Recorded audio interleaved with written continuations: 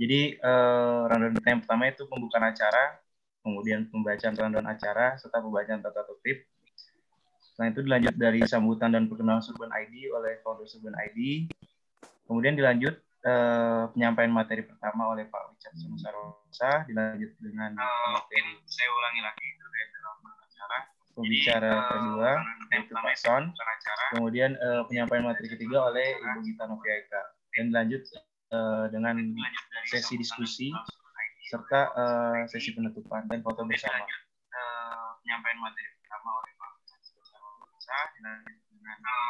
uh, host mungkin bisa di off di mute dulu yang YouTube-nya karena ada suara pantulan. Di mute aja. Oke. Okay. Silakan di ya untuk uh, tata tertib mungkin bisa dipindah. Tata tertib acara yang pertama, peserta diwajibkan menggunakan nama ID dan akun Zoom dengan format lengkap.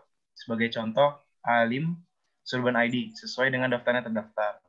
Yang kedua, peserta wajib mengisi daftar hadir pada pukul 13 sampai dengan pukul 14 untuk mendapatkan sertifikat melalui melalui link uh, yang yang tersedia. Kemudian yang ketiga, peserta harap mematikan atau mute mikrofon dan video selama acara berlangsung. Hanya host, pembicara, dan moderator yang diperbolehkan mengaktifkan mikrofon dan video selama acara berlangsung. Yang keempat, peserta wajib memahami dan mematuhi tata cara mengajukan pertanyaan sebagai berikut. Yaitu peserta dapat mengajukan pertanyaan di kolom chat Zoom dan YouTube. Format pertanyaan harus mencantumkan identitas penanya, nama, lembaga, kepada siapa pertanyaan ditujukan, dan apa isi pertanyaannya. Setelah itu, peserta harap mencermati daftar pertanyaan yang sudah ada di kolom chat sebelum mengajukan atau menulis pertanyaan untuk menghindari pertanyaan yang sama. Kemudian yang kelima, peserta diharapkan mengikuti seluruh rangkaian diskusi awal sampai akhir acara dan tidak melakukan kegiatan keluar dan masuk login atau log out agar tidak mengganggu kelancaran acara. Yang keenam, peserta diharapkan menjaga ketertiban dalam pelaksanaan webinar. Yang ketujuh, penyelenggara berhak untuk meluar, mengeluarkan peserta yang tidak mengikuti tata tertib.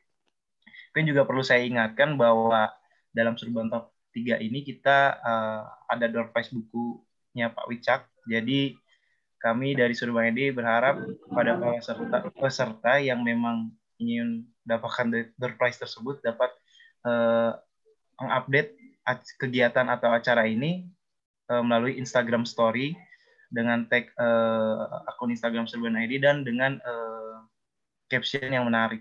Mungkin itu yang bisa saya sampaikan.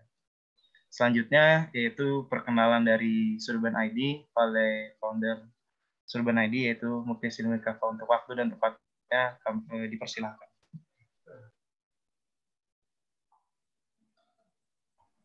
Oke, okay, uh, eh, terima kasih banyak kepada host Muhammad Nadif Abdullah selaku co-founder dari Surban ID.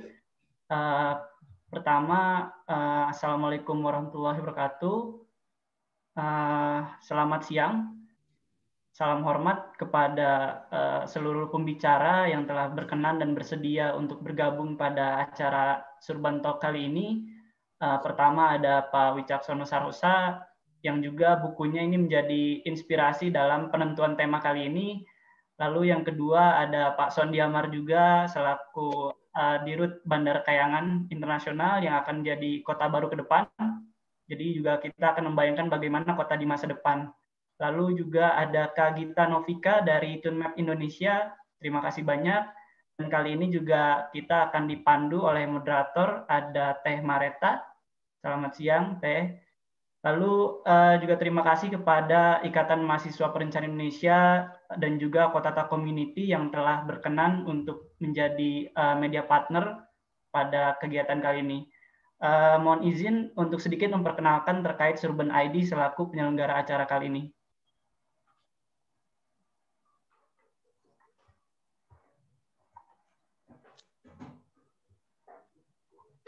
Ya, uh, jadi Surban ID ini uh, singkatan dari Sustainable Urban Development Indonesia yang kita uh, buat tagline-nya adalah Perfection in Collaboration. Hmm. Nah ini sedikit uh, pendahuluan kenapa akhirnya kita mencoba untuk menginisiasi Urban ID ini. Jadi di tahun 2018 sendiri Indonesia merupakan negara dengan tingkat urbanisasi tertinggi di Asia. Namun sayang berdasarkan laporan Bank, Indonesia, Bank Dunia, urbanisasi ini ternyata belum berdampak positif di Indonesia, terutama terhadap tingkat kesejahteraannya. Lalu juga saat ini dominasi penduduk dunia sudah tinggal di perkotaan. Di Indonesia sendiri lebih dari 55% penduduknya tinggal di perkotaan dan juga diprediksi akan mencapai 73% pada tahun 2030. Nah, dari situ kota-kota hanya menempati sebetulnya tiga, hanya 3% permukaan tanah secara global. Namun uh, akan tapi mengkonsumsi lebih dari 75% dari keseluruhan energi dan menghasilkan lebih dari 50% dari limbah global. Namun yang tidak juga bisa kita pungkiri adalah kota merupakan pusat ekonomi utama yang menghasilkan 80% dari PDB global.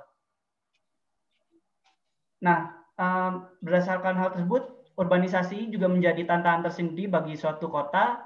Perkotaan dihadapkan dengan persoalan juga perubahan iklim saat ini. Kota-kota sering kali yang paling terpengaruh karena kota ini umumnya memiliki populasi yang lebih tinggi di daerah yang terkonsentrasi intensitas kegiatan yang lebih tinggi dan juga suhu yang lebih tinggi karena ada urban heat island effect. Nah, eh, berdasarkan latar belakang tersebut, maka eh, sangat penting yang dinamakan dengan pembangunan perkotaan berkelanjutan. Sebelum ke sana, eh, sedikit menjelaskan bahwa sustainable development itu merupakan proses pembangunan yang memenuhi kebutuhan masa kini tanpa mengurangi kemampuan generasi mendatang untuk memenuhi kebutuhan mereka mereka sendiri. Lalu spesifik terhadap Eh, konteks urban, perkota, pembangunan perkotaan berkelanjutan ini harus dilihat sebagai unsur integral dari tujuan yang lebih luas, yaitu mencapai pembangunan berkelanjutan global atau Global Sustainable Development dengan agenda pengelolaan lingkungan atau environment stewardship yang luas, keadilan antar generasi atau intergenerational equity, keadilan sosial atau social justice, dan juga keadilan geografi atau geographical equity. Nah, sebetulnya uh, sudah banyak Eh, agenda-agenda global yang mendorong kepada arah sana. Uh, sebelumnya ada MDGs atau Millennium Development Goals, lalu juga di 2015 dilanjutkan dengan SDGs Sustainable Development Goals, dan yang terbaru di tahun 2016 terakhir ini ada uh, terkait New Urban Agenda. Dan juga kalau saya tidak salah Pak Wicaksono ini terlibat uh, dalam proses uh, penyusunan New Urban Agenda ini. Nah, namun uh, sebetulnya di Indonesia sendiri implementasi dari agenda-agenda global tersebut belum optimal. Itu bisa dilihat dengan begitu banyaknya persoalan di perkotaan yang semakin rumit. Nah, ini salah satunya disebabkan oleh tata kelola perkotaan atau urban governance yang masih lemah. Uh, apa itu urban governance? Urban governance ini merupakan uh, mengacu pada bagaimana pemerintah, baik itu lokal, regional, dan nasional, dan pemangku kepentingan, stakeholders, memutuskan bagaimana merencanakan, membiayai, dan juga mengelola daerah perkotaan ini melibatkan proses negosiasi dan juga kontestasi yang berkelanjutan atas alokasi sumber daya sosial dan material serta kekuatan politik. Jadi uh, cukup kompleks juga. Nah, uh, sebelumnya untuk mencapai pembangunan berkelanjutan ini harus terlebih dahulu uh, membuat masyarakat yang berkelanjutan atau sustainable society. Oleh karena itu, untuk mencapai pembangunan perkotaan berkelanjutan, pertama itu kita harus mengembangkan budaya keberlanjutan untuk mayoritas masyarakatnya, masyarakatnya, jika tidak untuk semua karena masyarakat di sini adalah pemangku kepentingan yang paling penting dalam mencapai pembangunan berkelanjutan. Nah, berdasarkan uh, research atau penelitian bahwa warga tidak lagi hanya pengamat pasif saat ini. Berkat teknologi informasi dan komunikasi, mereka dapat memainkan peran aktif dalam membentuk pusat-pusat kota yang cerdas dan berkelanjutan. Namun, uh, tetap pemerintah daerah perlu menjadi pemimpin utama. Mereka ini uh, pemerintah merupakan orang-orang yang dapat meningkatkan manajemen kota melalui teknologi cerdas. Nah, yang kita dorong adalah tata kelola perkotaan kolaboratif ini atau collaborative urban governance. Jadi, uh, tata kelola perkotaan kolaboratif ini sebagai pendekatan yang berguna dan merupakan langkah selanjutnya dalam evolusi inklusivitas dalam pengambilan keputusan publik. Tata kelola perkotaan kolaboratif ini mencakup kolaborasi yang lebih besar antara lembaga, bisnis, masyarakat sipil untuk mencapai pengambilan keputusan yang lebih terbuka dan lebih baik sebagai sistem terbuka, tata kelola perkotaan kolaboratif dapat menjadi katalisator penting untuk perubahan dan memberikan peluang bagi kreativitas yang lebih besar dalam mengakses sumber daya, memanfaatkan solusi keuangan inovatif, dan melibatkan orang-orang dalam dialog yang bermakna. Maka dari itu, tata kelola perkotaan kolaboratif ini dapat menjadi salah satu faktor kunci untuk mencapai pembangunan perkotaan berkelanjutan. Nah, lalu uh, berdasarkan eh, isu-isu yang telah disampaikan tadi, kami coba uh, melintas dan juga merumuskan tiga persoalan utama itu pertama masyarakat mengalami kesulitan dalam mengakses informasi dan pelayanan publik dari pemerintah. Yang kedua belum terciptanya transparansi dan akuntabilitas dari para aktor pembangunan dan yang ketiga belum adanya keterpaduan dan sinergitas dari seluruh pemangku kepentingan atau stakeholders perkotaan. Dari persoalan tersebut kami mendorong uh, tiga poin solusi yaitu pertama membuka akses informasi dan pelayanan publik seluas-luasnya dengan pemanfaatan teknologi digital. Yang kedua mendorong transparansi dan akuntabilitas aktor pembangunan dengan mengoptimalkan pengawasan dari masyarakat. Dan yang ketiga melakukan kolaborasi dengan seluruh pemangku kepentingan atau stakeholders perkotaan. Ini tujuan kami uh, yaitu tercapainya pembangunan perkotaan berkelanjutan melalui tata kelola perkotaan kolaboratif. Kami memiliki lima fitur yang disebut 5E dari mulai evoke, enrich, educate, empower, dan ensure yang masing-masing uh, seperti berikut. Yaitu pertama, evoke kita membangkitkan kesadaran akan pentingnya keberlanjutan perkotaan, lalu enrich memperkaya pengetahuan tentang perkotaan berkelanjutan, lalu educate memberikan pemahaman dan pembelajaran mengenai perkotaan berkelanjutan. Agenda serbentok ini merupakan salah satu uh, upaya dalam uh, apa namanya fasilitasi tiga fitur ini Lalu selanjutnya diharapkan ke depan kami dapat empower, yaitu memberdayakan masyarakat untuk mendorong pembangunan perkotaan yang berkelanjutan. Dan yang terakhir adalah ensure, memastikan tercapainya pembangunan perkotaan yang berkelanjutan. Nah ini gambaran uh, betapa luasnya Indonesia, terdiri dari 98 kota dan 416 kabupaten uh, yang tergabung dalam 34 provinsi. Uh, bisa dibayangkan betapa kompleks, betapa sulit mengelola uh, negara sebesar ini oleh karena itu perlu adanya kolaborasi dari uh, multi sektor dan juga multi pihak untuk uh, mencapai uh, kota masa depan yang kita harapkan yaitu kota untuk semua. Nah ini kita mulai dari lima orang ini, uh, saya selaku founder dan juga ada keempat co-founder uh, dan juga saat ini kami sudah dibantu satu orang lagi bernama Alim uh, yang sangat membantu dalam kegiatan kali ini. Nah ini sedikit uh, program report dari kami. Kami sudah menyelenggarakan kurang lebih ada tiga acara dari mulai webinar nasional yang berkolaborasi dengan IAP Jawa Barat, lalu ada Serban Talk 1 dan 2. Sejauh ini uh, acara tersebut telah diikuti oleh 636 orang dari 176 instansi lembaga yang berasal dari 136 kabupaten kota di 30 provinsi di Indonesia. Alhamdulillah antusiasme yang cukup tinggi dan apresiasi yang uh, tinggi buat kami juga Terima kasih banyak. Ini gambaran uh, persebaran di mana peserta-peserta yang telah mengikuti acara kami. Nah, ini juga hmm. beberapa pihak yang sudah bekerja sama dengan kami, baik sebagai pembicara, moderator, dan lain sebagainya.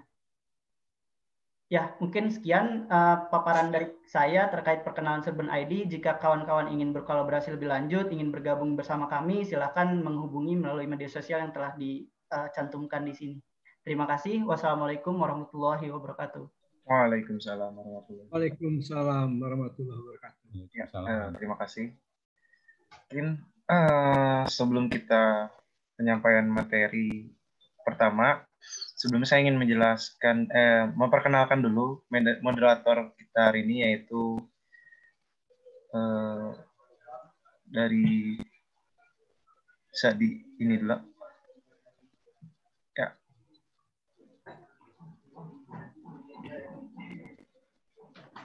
Ya, sebelumnya saya ingin memperkenalkan dulu moderator kita ini yaitu eh, namanya Temareta Cynthia Devina, dipanggilnya Temareta.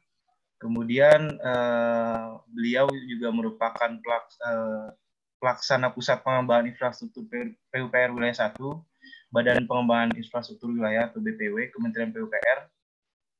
Dan eh, untuk riwayat pendidikannya itu eh, S1 Perencanaan Wilayah dan Kota Unisba.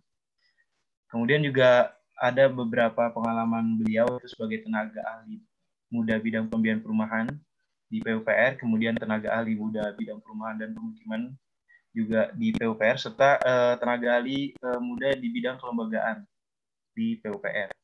Mungkin untuk uh, selanjutnya saya timpahkan ke Teh Mareta. Enggak.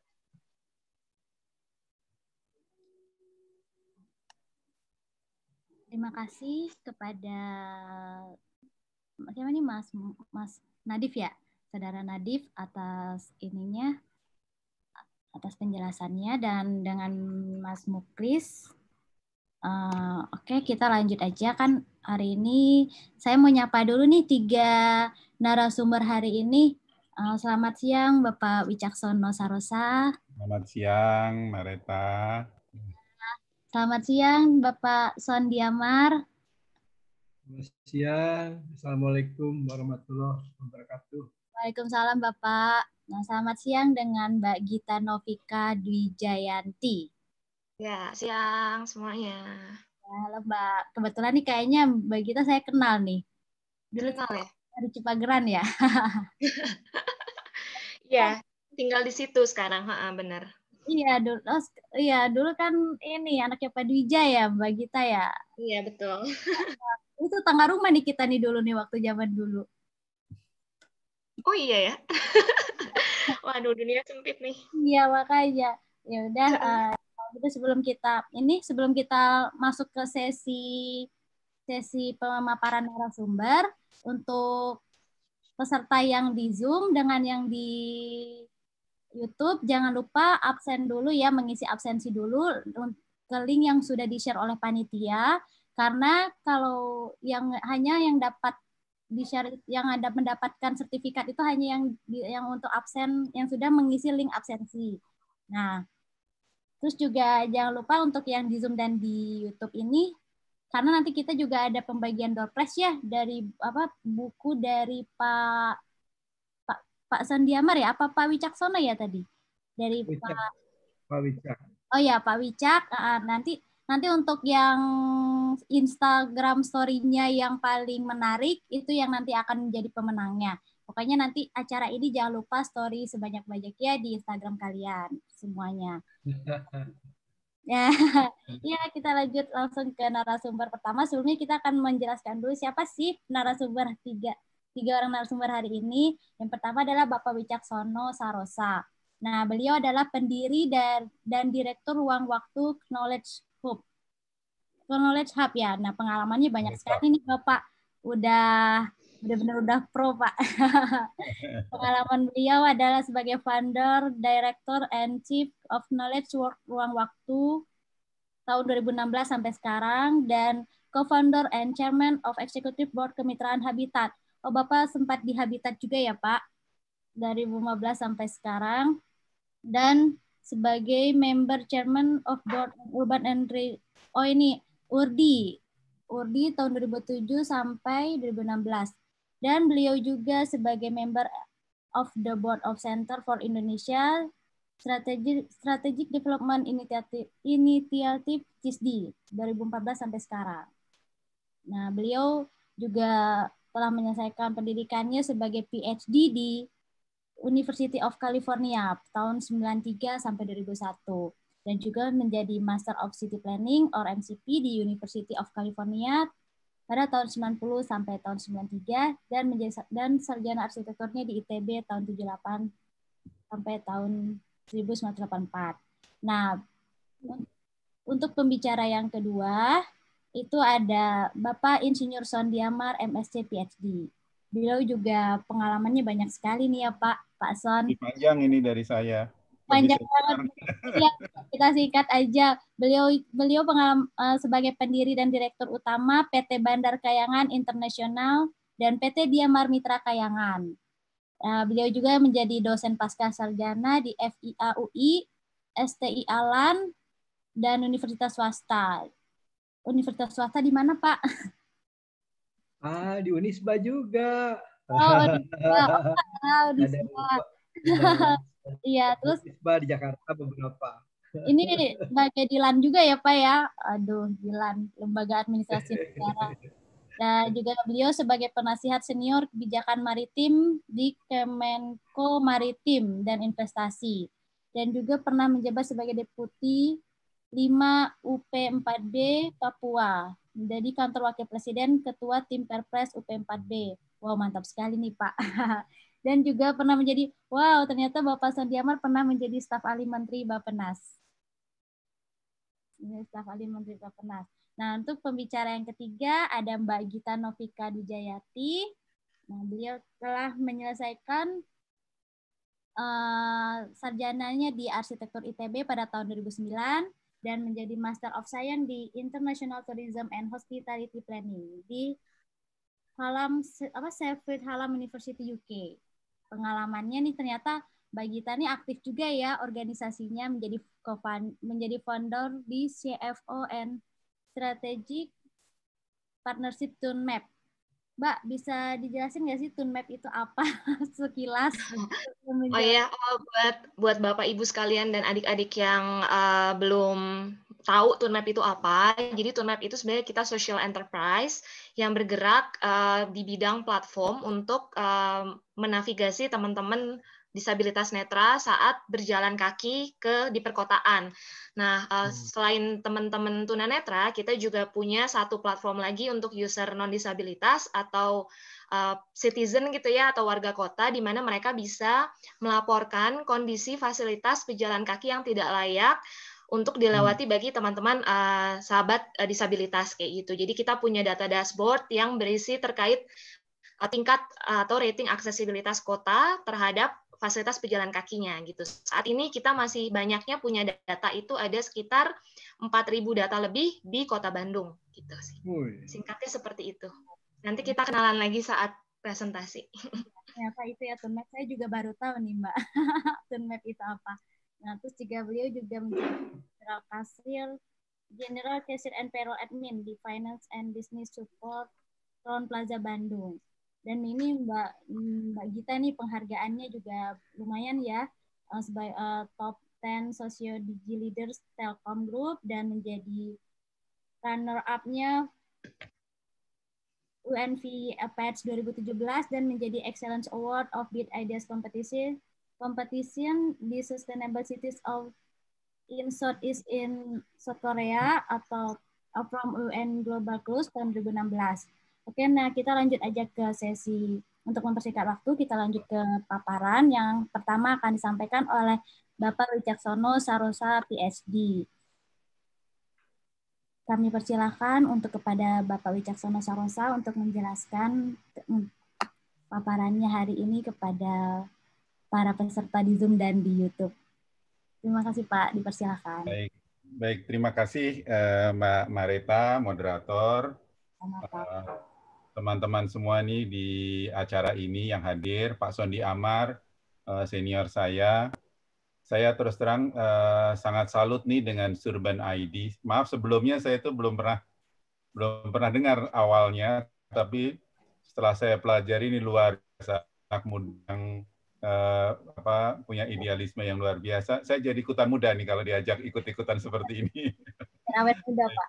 Ya, masih muda juga ya, masih semangat saya masih muda. Ya, saya, dulu ya. Saya lebih muda ya Pak Icak. Ah, ya betul betul. Pak Sony Amar tuh rambutnya sudah hitam muda betul. awet muda luar biasa. Jadi uh, saya paparan apa namanya saya ingin yang ingin saya share pada kesempatan kali ini uh, intinya sebenarnya begini di masa depan saya bahasanya saya sedikit ubah ya jadi di masa depan kota memang harus untuk semua. Nah kenapa kenapanya itu nanti kita akan cerita ya akan kita diskusikan nantinya. Ya, sebelumnya ada sedikit uh, tebak-tebakan yuk kalau kira mungkin bisa ditulis di chat nanti ya kira-kira jumlah penduduk kota di Indonesia sekarang berapa ya Nah, nanti silahkan ditulis di chat. Hmm. Udah. Nah, nggak apa-apa ya, saya lanjut aja. Nanti kita lihat. Ternyata menurut BPS sekarang 151 juta tahun ini kurang lebih ya. Pertanyaan berikutnya pada waktu Indonesia emas ya kan Pak Jokowi mendeklarasikan tahun 2045 Indonesia emas itu tahun 2045 pada waktu kita memperingati 100 tahun, kira-kira penduduk perkotaan ini kawasan perkotaan ya di Indonesia kira-kira uh, menurut e, BPS berapa? Nah, bisa ditulis juga di chatnya biar rame-rame. Silakan mangga. Nah, langsung tapi saya klik saja yang jawaban saya yang ada ada 233 juta. Ya. Jadi dari sekarang hingga 25 tahun yang akan datang, itu kita akan ketambahan 80 something juta, bayangkan 80 something juta penduduk kota kawasan perkotaan di Indonesia. Sebagian di kota administrasi yang administrasi sebagai kota, ada juga di tentunya banyak sekali juga yang di eh, kabupaten-kabupaten uh, ya, yang kawasan perkotaan di kabupaten. Nah, ini nggak bisa dianggap sepele begitu saja sebagai angka. Mereka itu mau dikemanakan atau ditempatkan di mana atau diarahkan ke mana gitu ya. Jadi ini selalu menjadi pertanyaan harus menjadi pertanyaan pemerintah kita sekarang. Kalau ini 82 atau 80 something juta itu dibiarkan begitu saja apa yang terjadi atau kalau diarahkan apa yang terjadi gitu ya. Jadi eh, dalam dugaan saya Eh, kalau kita ini masih bisnis as usual, maka 80-an juta penduduk itu sebagian besar akan terus terkonsentrasi di kota-kota besar di Pulau Jawa. Di yang fasilitas bagus, pekerjaannya banyak. Walaupun sekarang dengan era COVID ini mengajarkan kita bisa uh, apa namanya bekerja dari jauh ya, work work from home, from somewhere else. Tetapi kalau kita baca banyak literatur, sebenarnya manusia tetap aja butuh interaksi sosial, inovasi itu muncul sering kali terjadi karena inovasi apa interaksi sosial dan sebagainya akhirnya konsentrasi manusia dalam bentuk kota itu akan terus terjadi ya terlepas dengan situasi yang sekarang sedang ada di kita. Nah, kalau semuanya terkonsentrasi, terkonsentrasi di Pulau Jawa, maka lahan-lahan subur akan banyak yang hilang karena Jawa itu pada dasarnya sangat subur. Nah, contohnya Kerawang yang sebenarnya dulu merupakan lumbung eh, padi, sekarang udah banyak kan kawasan industri begitu. Nah, kemanfaatan dari urbanisasi sendiri juga terhadap eh, peningkatan kesejahteraan rakyat secara umum menjadi kurang maksimal yang terjadi di Indonesia kalau kita masih bisnis as usual. Ya, ini contoh di eh, bawahnya itu eh, dalam satu kurun waktu tertentu saya ada catatannya saya lupa tapi ini tergantung waktunya. Tapi umumnya kita ini kurang kalah menyejahterakan dibanding dengan Thailand, Vietnam, dan Tiongkok dalam pertambahan satu percentage dari level of urbanization. Ya, kalau di ini kurun waktunya saya uh, ada di buku sebenarnya eh, empat uh, persen uh, penambahan satu persen urbanisasi itu uh, uh, berkorelasi kuat dengan peningkatan income per kapita sebesar 4 persen di Indonesia. Jadi kalau nggak salah dari tahun 90 sampai tahun 2010 ya. Nah, tetapi uh, di Thailand jauh lebih lebih apa namanya uh, welfare improving. Di Vietnam juga begitu dan di Cina apalagi di Tiongkok ya. Nah sehingga kita harus memikirkan kira-kira apa yang bisa membuat apa namanya kota-kota kita ini lebih menyejahterakan ya.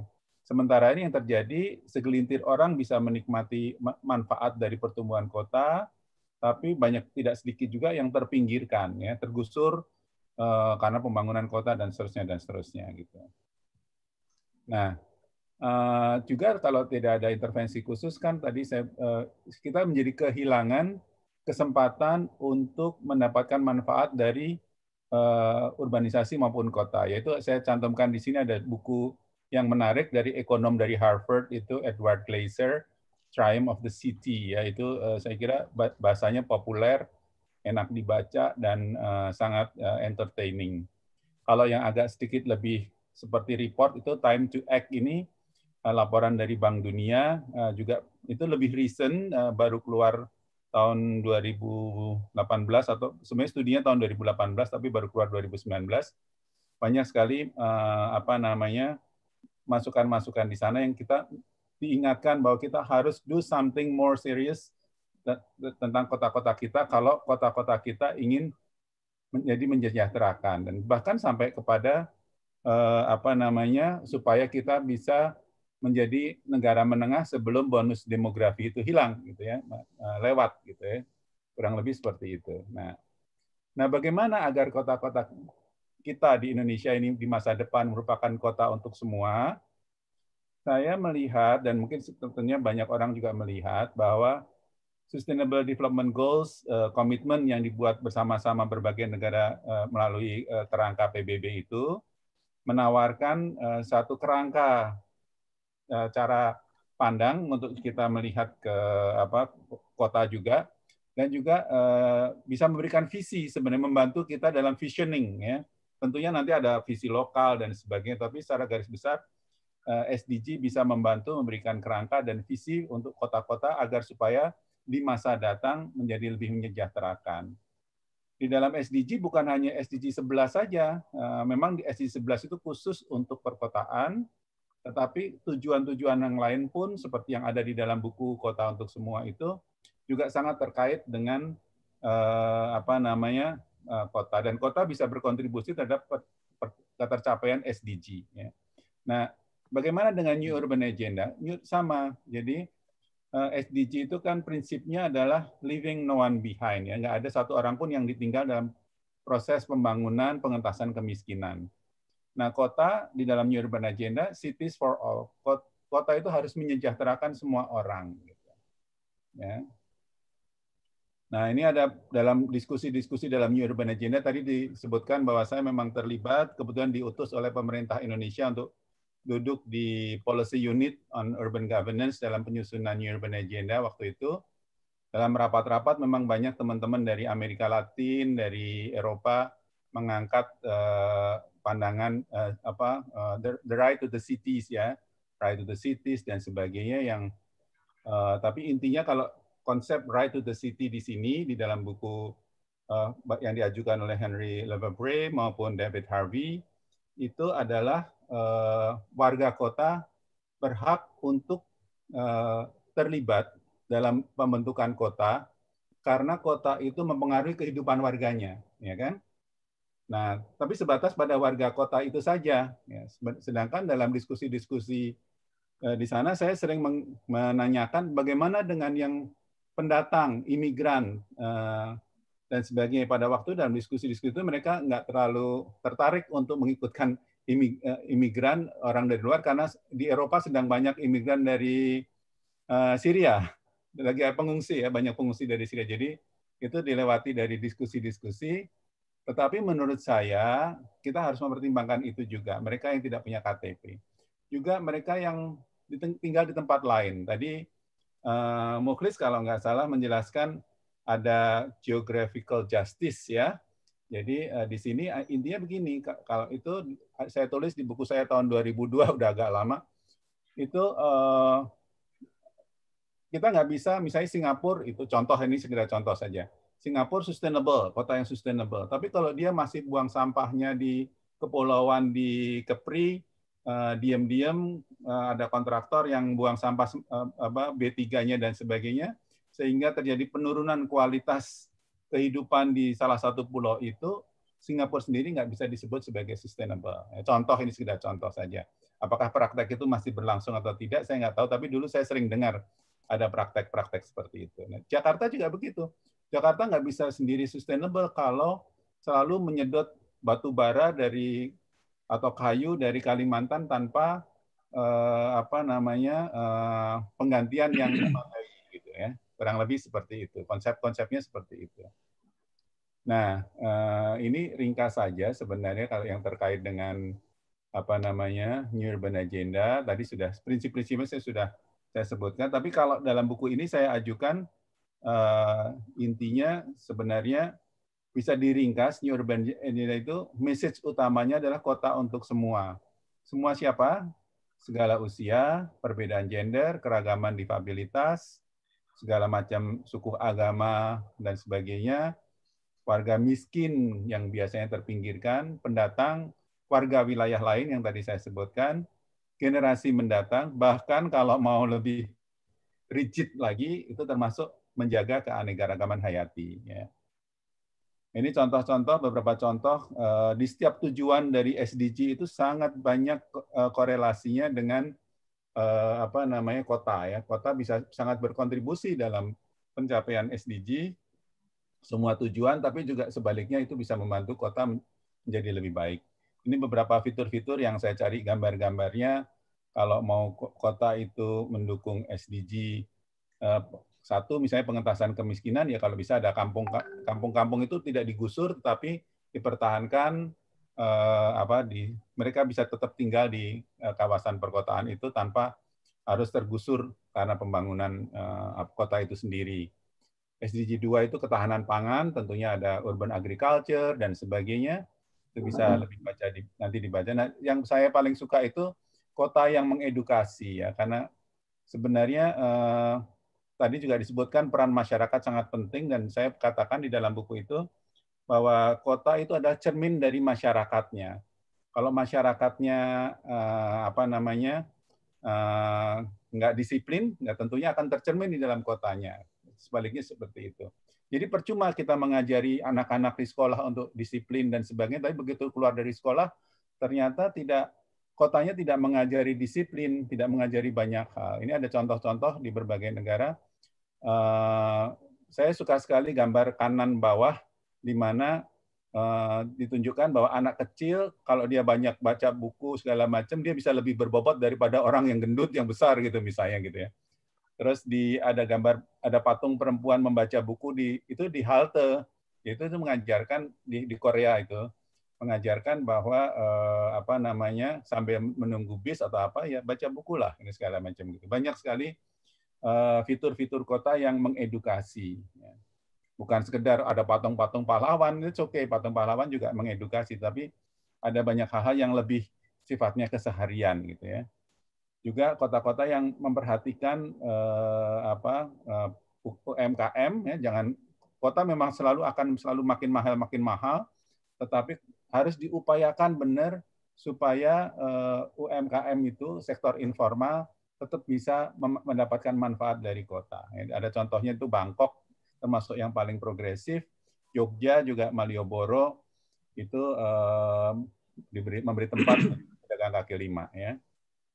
Saya biar cepat saja dulu. Ini ada SDG 15 eh, bahkan yang terkait marine eh, apa ekosistem pun kota punya kaitannya ya.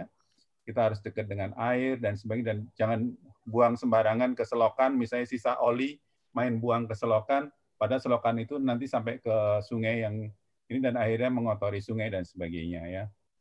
Itu banyak sekali kaitannya. Nah, tantangannya apa sih? Tantangan tadi juga sebenarnya sebagian uh, siapa muklis ya dari uh, Surban ID sudah menyebutkan more or less uh, banyak hal, tapi kalau saya melihatnya seperti ini.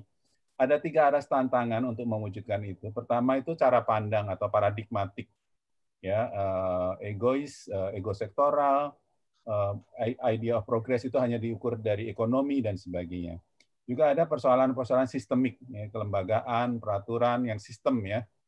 Kemudian juga hal-hal yang sifatnya praktikal, ya, apa namanya, soal keahlian, kapasitas dan sebagainya itu lebih mudah bisa diperbaikinya.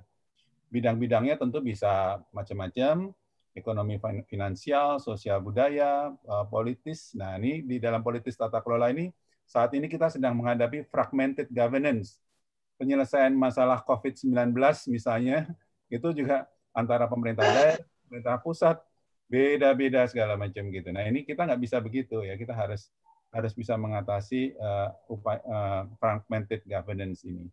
Kemudian juga persoalan-persoalan fisik lingkungan, pengetahuan teknologi, kita kurang memanfaatkan research uh, di dalam pengambilan keputusan, Eh, banyak keputusan diambil berdasarkan apa nggak tahu guys ini tapi tidak berdasarkan research ya nah ini yang harus kita dorong terus oleh karena itu yang uh, uh, kita harus gaungkan terus menerus adalah kota ko-kreasi di mana semua orang terlibat menyumbang tetapi juga kemudian mendapat manfaat dari uh, uh, apa tumbuhnya kota-kota itu kurang lebih seperti itu ringkasnya saya memang sengaja ngebut supaya nanti kita bisa punya banyak waktu untuk diskusi. Begitu Mbak Mareta, saya kembalikan pada moderator. Baik, terima kasih Bapak Wicaksono Sarosa. Selanjutnya kita lanjutkan langsung aja kepada narasumber yang kedua yaitu Bapak Insinyur Son Diamar, MSc PhD, selaku Direktur Utama PT Bandar Kayangan Internasional. Kepada Bapak Son Diamar dipersilakan untuk memaparkan paparannya.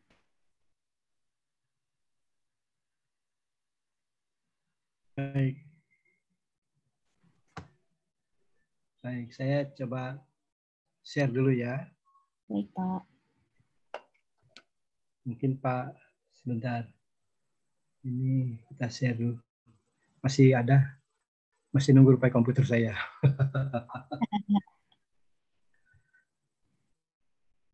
Oke, sebentar. Udah sedikit ini nih. Hmm. Oh, masuk ke Zoom-nya rada lama ya.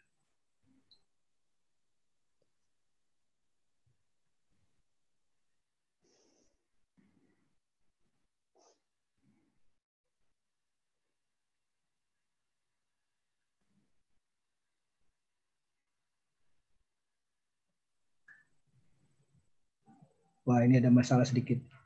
Boleh. Ini Bapak Wicaksono tadi memaparkannya benar-benar lembut ya Pak. Oke, ini bagus-bagus sekali. Sudah, sudah. Jadi sekarang saya bisa share, mudah-mudahan ya.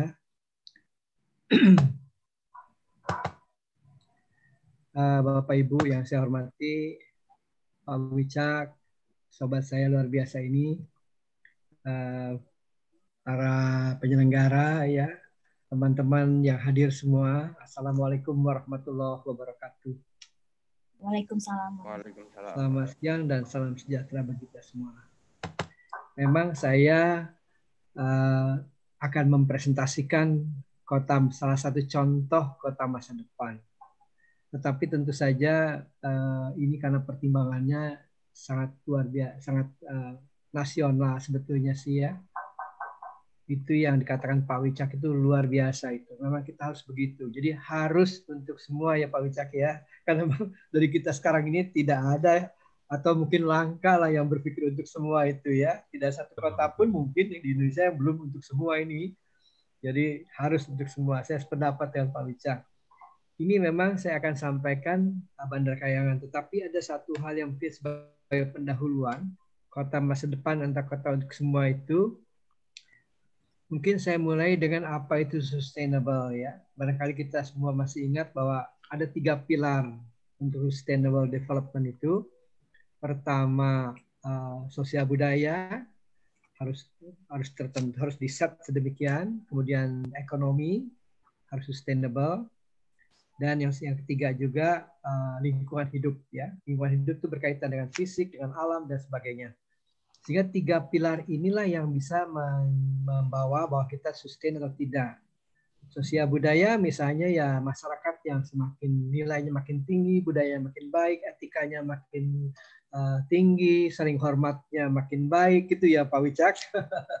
Saling menghormati sesama begitu ya. Antar etnik antar agama dan sebagainya. Kemudian dari ekonomi uh, ya minimum kesenjangan kesenjangan itu sesuatu yang kodrat sering kali tidak bisa dihindari. Tapi minimum kesenjangan intinya harusnya sejahtera semua. Tidak ada miskin apalagi harus begitu. Dan secara lingkungan hidup ya nilainya jelas. Lingkungan hidup itu bisa lebih baik jika udara semakin baik aliran air semakin baik dan apa green dan sebagainya ya.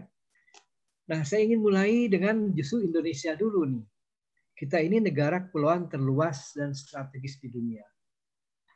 Kalau tidak ada Juanda, mungkin Indonesia tidak akan punya air, hanya punya pulau, punya tanah.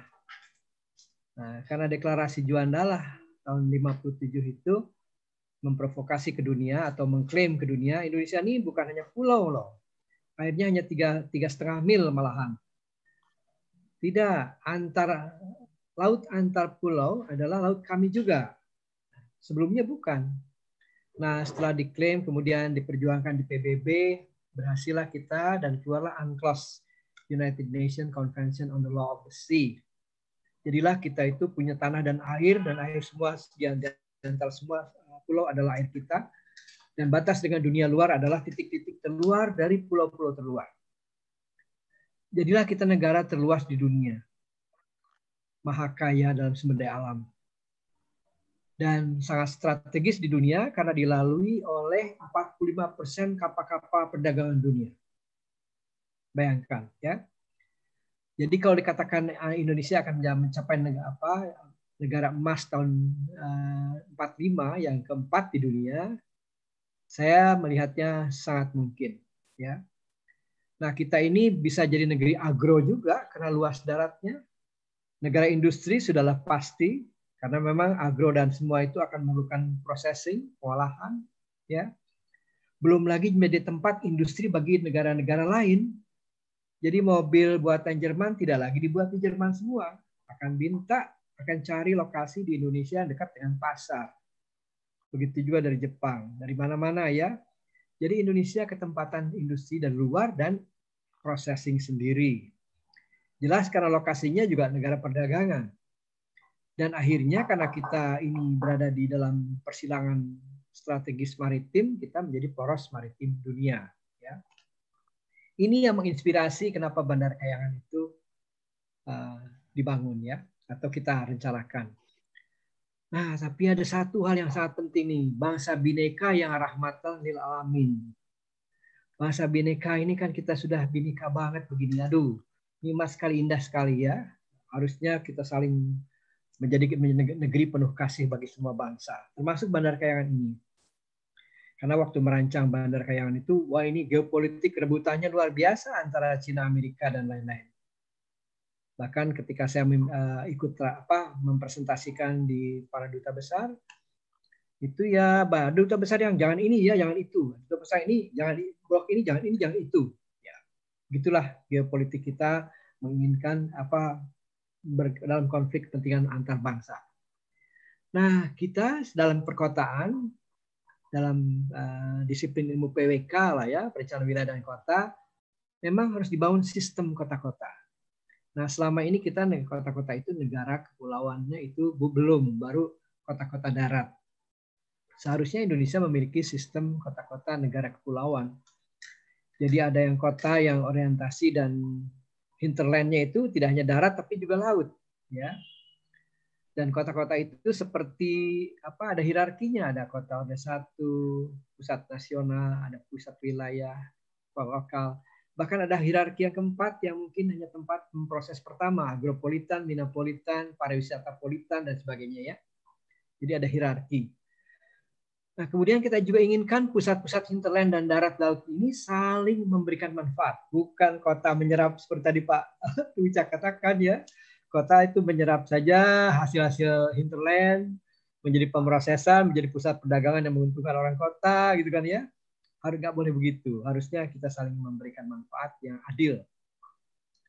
Nah, bagaimana adilnya? Saya sering menyampaikan uh, kita sebetulnya bisa menggunakan yang disebut menurunkan dari pasal 33 Undang-Undang Dasar 45 bahwa sumber daya alam ini untuk sebesar-besar kemakmuran rakyat ya.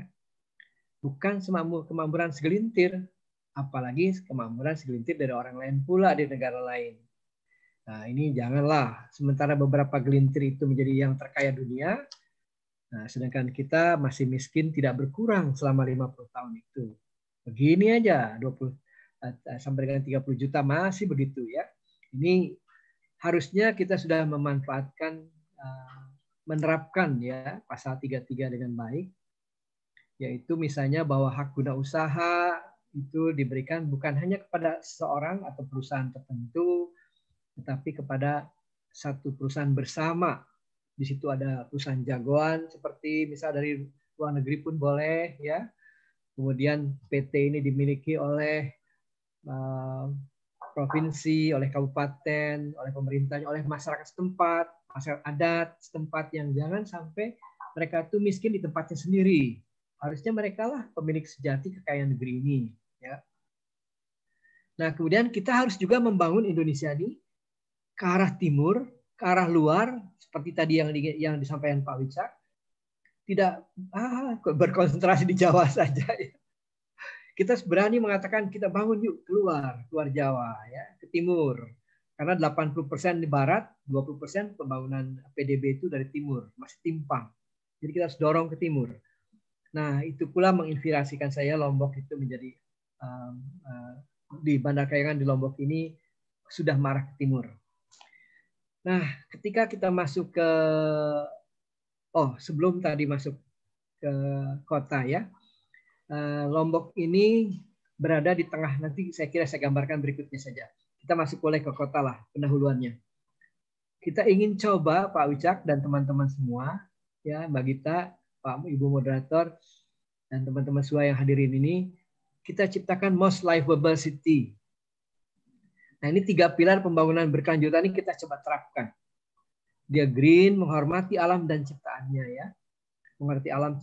Kemudian yang modern, sesuai perkembangan ilmu dan teknologi. Tapi yang juga dalam kultural kulturalnya itu kita tetap gunakan bahkan di, diperkaya dalam wujud fisik dan kegiatannya. Ya, tidak hanya menjadi cuma tontonan saja itu kultural kultural itu ya. Nah, misalnya nih kalau ada satu uh, tenun NTB NTT, dia tentu bisa dikait dikawinkan dengan fashionnya ala Louis Vuitton, Begitu. Kan jadi keren. Nggak ada di dunia yang punya kain seperti itu. Misalnya ya. Nah, kemudian eh, nanti saya sampaikan dalam kota ya. Lalu tempat berusaha dan bekerja yang punya harapan masa depan, bukan yang aduh dengan UMR yang sangat uh, sedih dan sebagainya ya. Kita harus coba. Nah, kemungkinan eh kemudian pemukiman aneka strata sosial, kultur dan usia. Nah, terakhir ada permukiman penuh kasih antar sesama ini ya. Kita harus terus wujudkan. Nah, itu semuanya uh, tentu akan masuk dalam pelembagaan. Baiklah, kita masuk sekarang ke Kota Bandar Kayangannya ya. Ini sudah di launching tahun 17, menghadirkan banyak uh, politisi, menteri, uh, duta besar, uh, dan ketika saya sampaikan kepada Presiden sebelumnya tahun 2015, Pak Presiden, saya ingin membangun kota masa depan itu tiga tujuan Pertama, kita ingin tanda kutip memindahkan sedikit kekuasaan Singapura atas perdagangan Indonesia. Loh, kenapa Pak Son? Memang kita dijajah? Ya, sedikit dijajah lah ya. Atau kita tergantung lah begitu. Karena 90% kapal-kapal Indonesia itu kalau mau ekspor luar negeri harus ke Singapura dulu. Kenapa kata Pak Presiden? Ya karena kita tidak punya pelabuhan dalam dan apa laut dalam modern. Nah, Singapura menyediakan kapal-kapal besar. Kalau jarak jauh itu harus kapal besar sehingga efisien. Bensin satu di Indonesia kapal kecil cuma ngangkut 10. Tapi BBM yang 10 kali dengan kapal besar ngangkutnya ratusan kali begitu ya. Jadi jauh lebih efisien gitu. Nah, oh jadi bagaimana memindahkannya? Kita buat pelabuhan modern laut dalam. Di mana itu? Di tengah-tengah Republik Indonesia di aksis poros maritim Indonesia laut dalam di Selat Lombok selat eh, yang sangat dalam itu. Yang kedua, uh, uh, saya berusaha untuk tidak menggunakan uang negara. Wah, bagaimana caranya? Kan pelabuhan uang negara. Tidak usah, Pak Presiden. Pelabuhan pun mahal, tidak mungkin uang negara bayar. Nggak mau saya pinjam negara kasihan, nanti rakyat juga yang bayar. Jadi bagaimana? Ya 15 triliun pelabuhan akan terbayar oleh keuntungan dari orang jualan kafling industri. Jadi jangan sampai si pengusaha itu jualan kafling industri untung sendirian, sedangkan pelabuhannya negara yang pinjam dan rakyat yang bayar. Ya, itu satu. Lalu yang ketiga, saya ingin tidak menggusur. Tadi Pak Wicak itu katakan, Jangan menggusur, Pak. Biasanya real estate membeli tanah murah dan menggusur. Kami tidak mau. Bagaimana caranya, Pak? Saya katakan pertama, saya beli. Memang apa boleh buat jadi murah karena belum jadi kota. Tapi kita bangunkan rumah yang bagus, bukan bukan yang sederhana atau layak. Yang bagus di tengah kota modern itu juga yang disebut saya sebut Dubai on Green Indonesia. Modern seperti Dubai tapi green Indonesia dengan segala kulturnya, ya Oh, mereka bayar? Tidak, gratis. Saya bilang, loh nanti untungnya? Ah, untungnya masih sangat banyak, Pak. Nah. Kemudian eh, berikutnya lagi, rakyat yang tadinya tanahnya dibeli itu kita organize dalam kooperasi. Lalu mereka dikasih bagi hasil. Wah, generous sekali katanya. Apa baik sekali. Ya harus begitu harusnya pasal 33. Bukan hanya itu, kami juga akan berikan bagi hasil untuk kabupaten supaya kabupaten bisa menyediakan fasilitas dan sebagainya. Kita bagi hasilnya kita berikan juga pada provinsi supaya provinsi bisa memberikan juga kesejahteraan bagi provinsinya. Tentu pajak untuk nasional ada. Nah ya eh, kita lanjut. Ini lingkungannya luar biasa, extraordinary beauty. Ini adalah saran dari orang-orang di Eropa ketika saya seminar di sana. Eh, Sondi, Jangan di mana-mana. Itu Selat Lombok dan bagus secara geostrategis apa namanya, teknis dan sebagainya. Dan dia punya branding dunia luar biasa. Sudahlah dekat Bali dan orang tahu juga Lombok sudah mulai ya. Oke, ini yakin kita bangun. Ada kapal-kapal raksasa yang panjangnya 500 meter bisa merapat. Ada segala ada rupa-rupa lah ya. Nah, sudah sangat uh, kuat legal uh, ininya, legal base-nya juga. Sudah ada peraturan pemerintah sudah ada peraturan presiden mengenai RPJM uh, nasional ditetapkan dan uh, kita Dewan Dian Mitra Kaya ini sudah punya izin lokasi 7.000 hektar. Ya. Nah, kemudian apa sih yang mau dibangun? Uh, ini tadi cerita hasil studi Bappenas bahwa Indonesia bisa membangun 18 kota-kota dunia. Bisa menjadi kota negeri penuh kasih bagi semua bangsa ya dan kita bisa menjadi negara maritim terkemuka karena akan memerlukan kapal-kapal dunia banyak. Nah, Indonesia ini sudah luas, strategis. Paradigma perdagangan dunia akan menempatkan industri di negara tengah Indonesia dan kapal semakin besar. Jadilah kita punya harapan bahwa Lombok ini. Indonesia ingin menjadi hub dunia, apakah bisa? Nah ini datanya. Jadi Indonesia ini ya untuk produksinya saja dengan orang yang begitu banyak tadi ya 200 jutaan sekarang nanti jadi 300 jutaan. Konsumsinya saja besar. Produksinya besar. Antar pulaunya saja dibangun sudah memerlukan banyak kapal. Nah, belum lagi karena di tengah uh, apa di perlintasan perapatan dunia ini seperti Jalan Semanggi di Jakarta, jadi Indonesia ini tempat bisa jadi hub dunia, tempat trans uh, istilahnya itu ya transshipment. Nah, teman-teman semua barangkali tahu Dubai ya. Dubai itu tahun 86 ini menurut uh, Presiden Islamic Development Bank waktu itu masih tempat kontak, belum banyak yang bagus-bagus. Tapi sekarang dia menjadi hub dunia untuk penerbangan dan pusat perbankan, keuangan dan sebagainya. Nah, Dubai bisa menjadi tempat pusat penerbangan dunia didukung oleh Emirates. Abu Dhabi bisa menjadi pusat penerbangan dunia didukung oleh armadanya Etihad. Qatar oleh Qatar.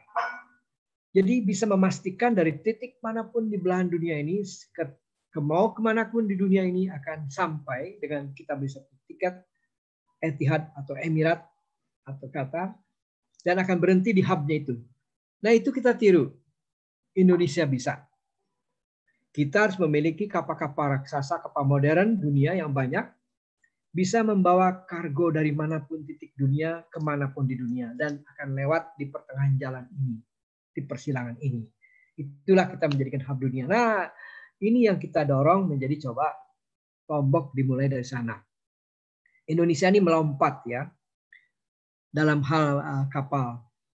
Jadi tahun 2005 kita itu 50% kapal-kapal di dalam negeri ada adalah kapal asing. Saya berjuang dengan kawan-kawan, dengan orang-orang pelayaran. Dikeluarkanlah impres dan akhirnya nambah 18.000 kapal Indonesia. Dan akhirnya sekarang tinggal 2% kapal asing. ya. Waktu itu kita bayar kapal asing itu 100 triliun. Nah kita ingin Indonesia jadi berperan penting di dunia ya. Jadi kota untuk dunia itu memang karena ya bukan hanya untuk Indonesia saja ya. Oke, ini nih yang merah ini begitu strategisnya ya setelah Lombok itu. Will take opportunity di tengah-tengah Indonesia ini memiliki empat titik strategis dunia dari 10 strategis dunia. Jadi salah satu yang terpenting menurut orang-orang maritim di Eropa, di dunia lah ya, Selat Lombok ini. Karena itu Selat Lombok sudah ditentukan sebagai selat ramai di masa depan yang di, di apa menggunakan namanya TSS uh, Traffic Separation System. Kalau kita memiliki pelabuhan internasional di Lombok, maka kapal-kapal yang di timur tidak usah lagi ke Singapura. Ekspor impor langsung dari Lombok. Seperti gambar di sebelah kanan bawah ya. Nah, ini selat Lomboknya ya dan dekat ke Bali cuma dua jam satu jam dari pelabuhan itu ke Bali naik speedboat ya. Kata orang dunia ya dekat ke Bali kamu terkenal sudah. Ini akan kita bangun ya. Tapi ya ini kan fisik ya. Bagaimana saya di investasinya? Diperlukan sampai dengan 95 eh, juta uh, billion dollars ya. Banyak sekali lah uangnya triliunnya banyak sekali. Lima tahun saja sudah 200 sekian triliunan ya. Nah, akan menyerap lapangan kerja demikian. Cuma ingin saya gambarkan bagaimana sih dikatakan kota masa depan ini dan untuk semua itu ya. Uh, ini sih biasa gambar dua dimensi yang tidak tampak. Bagaimana kita akan membuat ini untuk semua. Uh, pertama, saya tadi menyampaikan lahan-lahan ini kita beli dari dari masyarakat, tapi mereka akan ditempatkan di kota ini juga ya tidak di luar dan bagus. Nah kemudian ada misalnya satu contoh uh, untuk situs budaya. Sekarang kita bicara budaya ya. Ada 11 situs budaya. Pertanyaan rakyat ini, Pak Son, itu bagaimana situs-situs kami? Saya bilang kuburan juga ditanyakan. Kuburan kalau satu dua kita pindahkan ke yang ramai. Kalau ramai kita pelihara sebagai suatu taman sejarah masa lalu, eh, masa depan, di masa depan. Situs budaya kita akan buat situs itu sebagai satu tempat yang diberdayakan dalam pengertian lingkaran budayanya misalnya kita uh, apa dan itu restorasi dengan prosedur adat tidak tidak gampang itu semua ada prosedurnya batu harus di gunung ini kayu harus di hutan itu ya Ring kedua itu uh, buffer zone, ring ketiganya di situlah tempat misalnya ada ada restoran, ada cafe, ada tempat fashion, termasuk ya yang tadi saya sampaikan uh, Louis Vuitton fashion berbasis tenun NTB misalnya. 11 budaya di dalam kota modern, bayangkan. Apa nggak akan ramai jadi satu yang bagus ya? Dan mereka semua dapat untung, bukan bukan bukan dibayar tetapi mereka memiliki semuanya. Nah, di situ juga kita akan bangun pelabuhan tentu untuk dunia. Uh, semua juga memiliki rakyat ini dan kita sebelah-sebelahnya di luar kota itu agro kita tetap kembangkan ya. Nah, sampai ke lingkungan, lingkungan setiap 100 uh, eh, hektar itu yang tiap kotak yang ada frame jalan itu itu sustain. Nah, sekarang cuma kita lebih modifikasi lagi dengan COVID sehingga ya. jika perlu zero. Oh, ya. Kemudian mungkin ada satu hal yang oh oke okay deh ini sedikit gambar-gambar ya ada waktu menunggu pres menunggu presiden dan sebagainya ada gambar-gambar.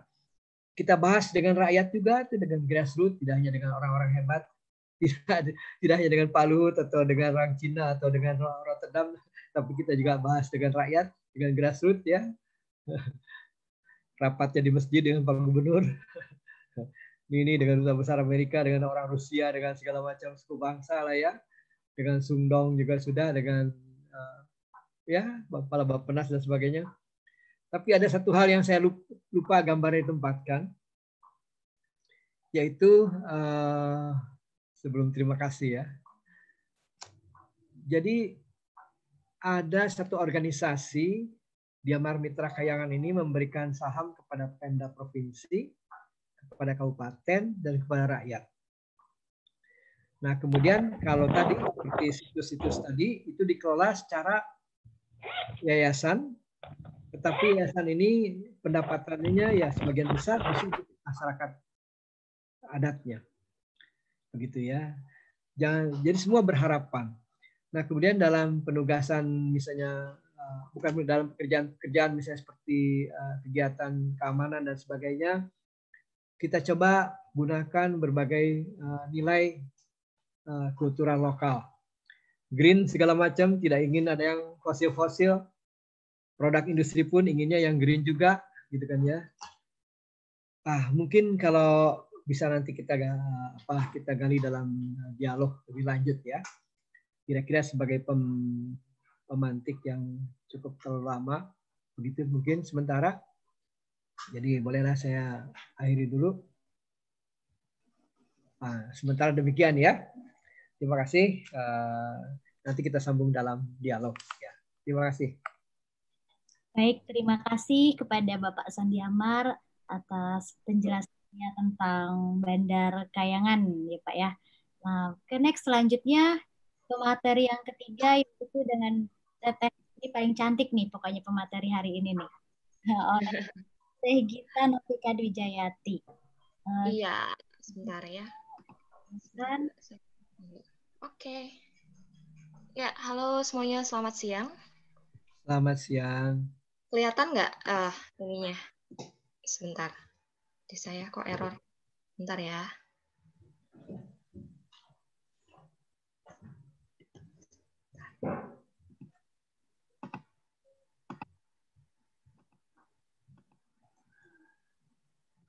Oh, ke close sebentar ya.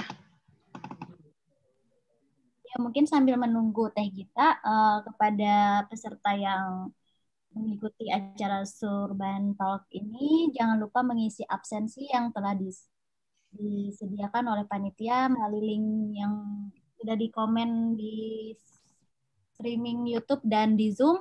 Karena kalau kita tidak mengisi link tersebut, nanti kita tidak dapat sertifikatnya. Ya, udah udah siap nih uh, teh ya. Kita mulai aja. Assalamualaikum warahmatullahi wabarakatuh. Sebelumnya saya mau, mau mengucapkan terima kasih kepada tim Surban ID untuk telah mengundang saya nih paling newbie di antara narasumber lainnya. Jadi malu paling muda juga. Jadi di sini saya mau sharing sedikit aja sih apa sih sebenarnya yang saya kerjakan di Tunmap itu. Jadi kita merupakan sebuah map, sebuah peta gitu ya yang berdasarkan crowd power untuk aksesibilitas kota gitu. Nanti saya jelaskan lebih lanjut crowd power itu apa. Nah, uh, ini sedikit aja perkenalan. Jadi kami melalui Tunmap sudah melalui berbagai macam uh, challenging time gitu ya. Nah, kita pernah mendapatkan uh, pertamanya itu di tahun 2016, idenya itu pernah memenangkan kompetisi di Sustainable Cities in Southeast Asia dan South Korea. Kita juara dua waktu itu. Terus kita juga merupakan part dari ASEAN Data Startup Accelerator dari ODI London. Kita juga memenangkan runner up, first runner up, juara dua di UNV Youth Volunteering Impact Challenge. Hmm. Pernah juga kemarin jadi Indonesian Delegate for Australia ASEAN di Emerging Leaders Program tentang Smart City. Dan yang baru-baru ini kita mendapatkan dana hibah dari pemerintah Australia juga. Uh, semuanya itu melalui Tunmap.